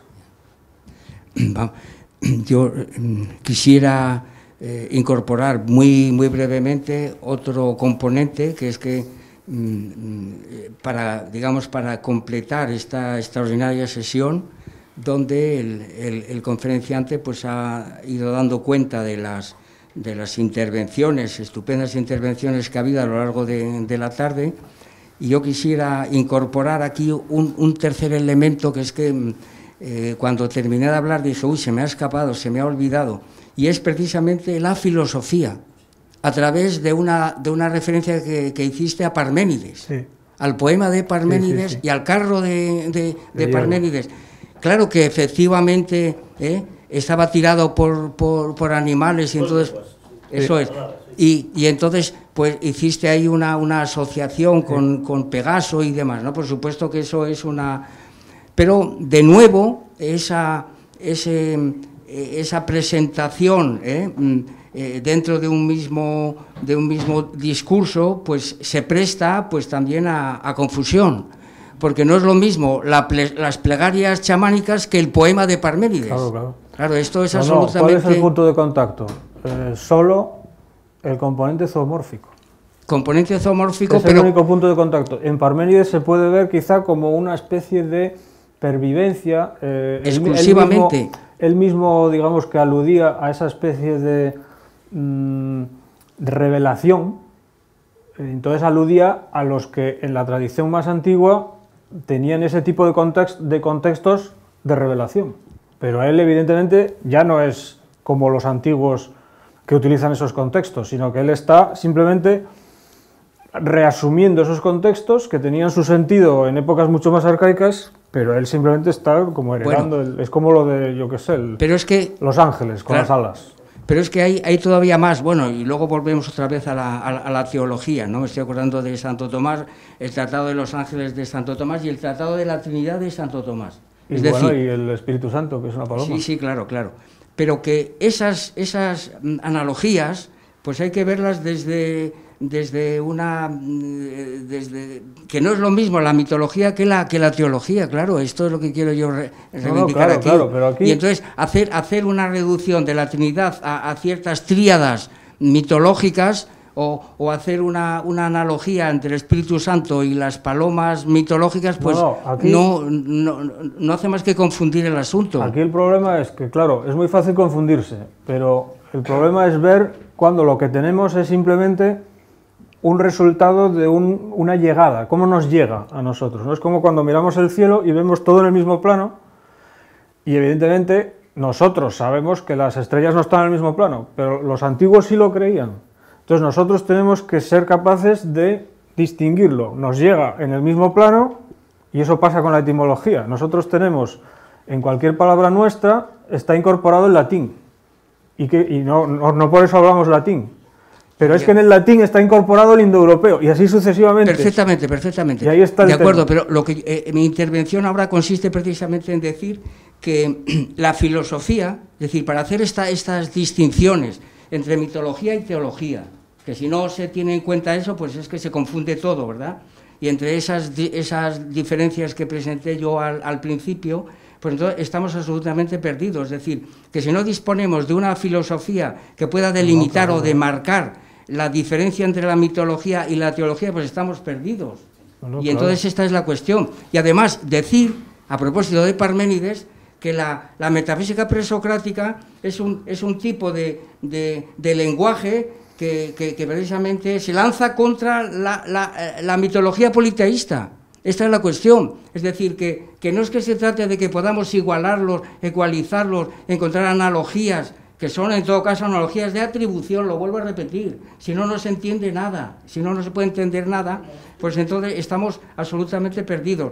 Y, y- y- y- lo que yo veo de grande en, en- en el materialismo filosófico es que dispone eh, de, de una teoría de la, de la filosofía, de una teoría de la religión, de una teoría de, de- de una antropología para distinguir la magia de, la, de la religión, etcétera, ¿no? Y esto es lo que yo quiero invocar aquí, ¿verdad? Que, que a propósito de Parménides, que se sepa que la filosofía es precisamente un lenguaje que surge para arremeter contra la religiosidad secundaria, contra el politeísmo. Esto es así de claro. Y yo quisiera sencillamente ponerlo otra vez sobre la mesa porque como se me escapó, pues entonces, claro, ¿eh? Eh, eh, eh, es decir, magia, religión y filosofía. Vamos, esta es la cuestión.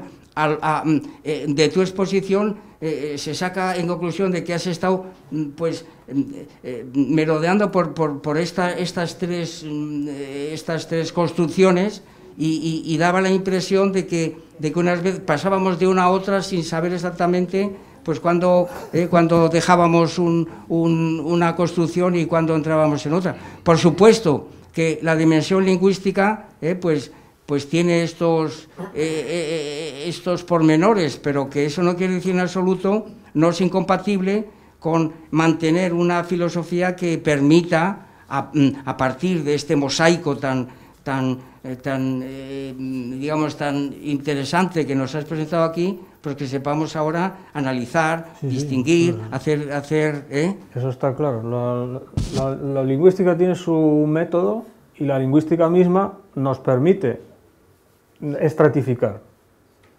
Y entonces, en el plano de la tradición del pensamiento, es la filosofía la que realiza esa función. Entonces, tiene que, tiene que hacerse siempre. Es decir, el-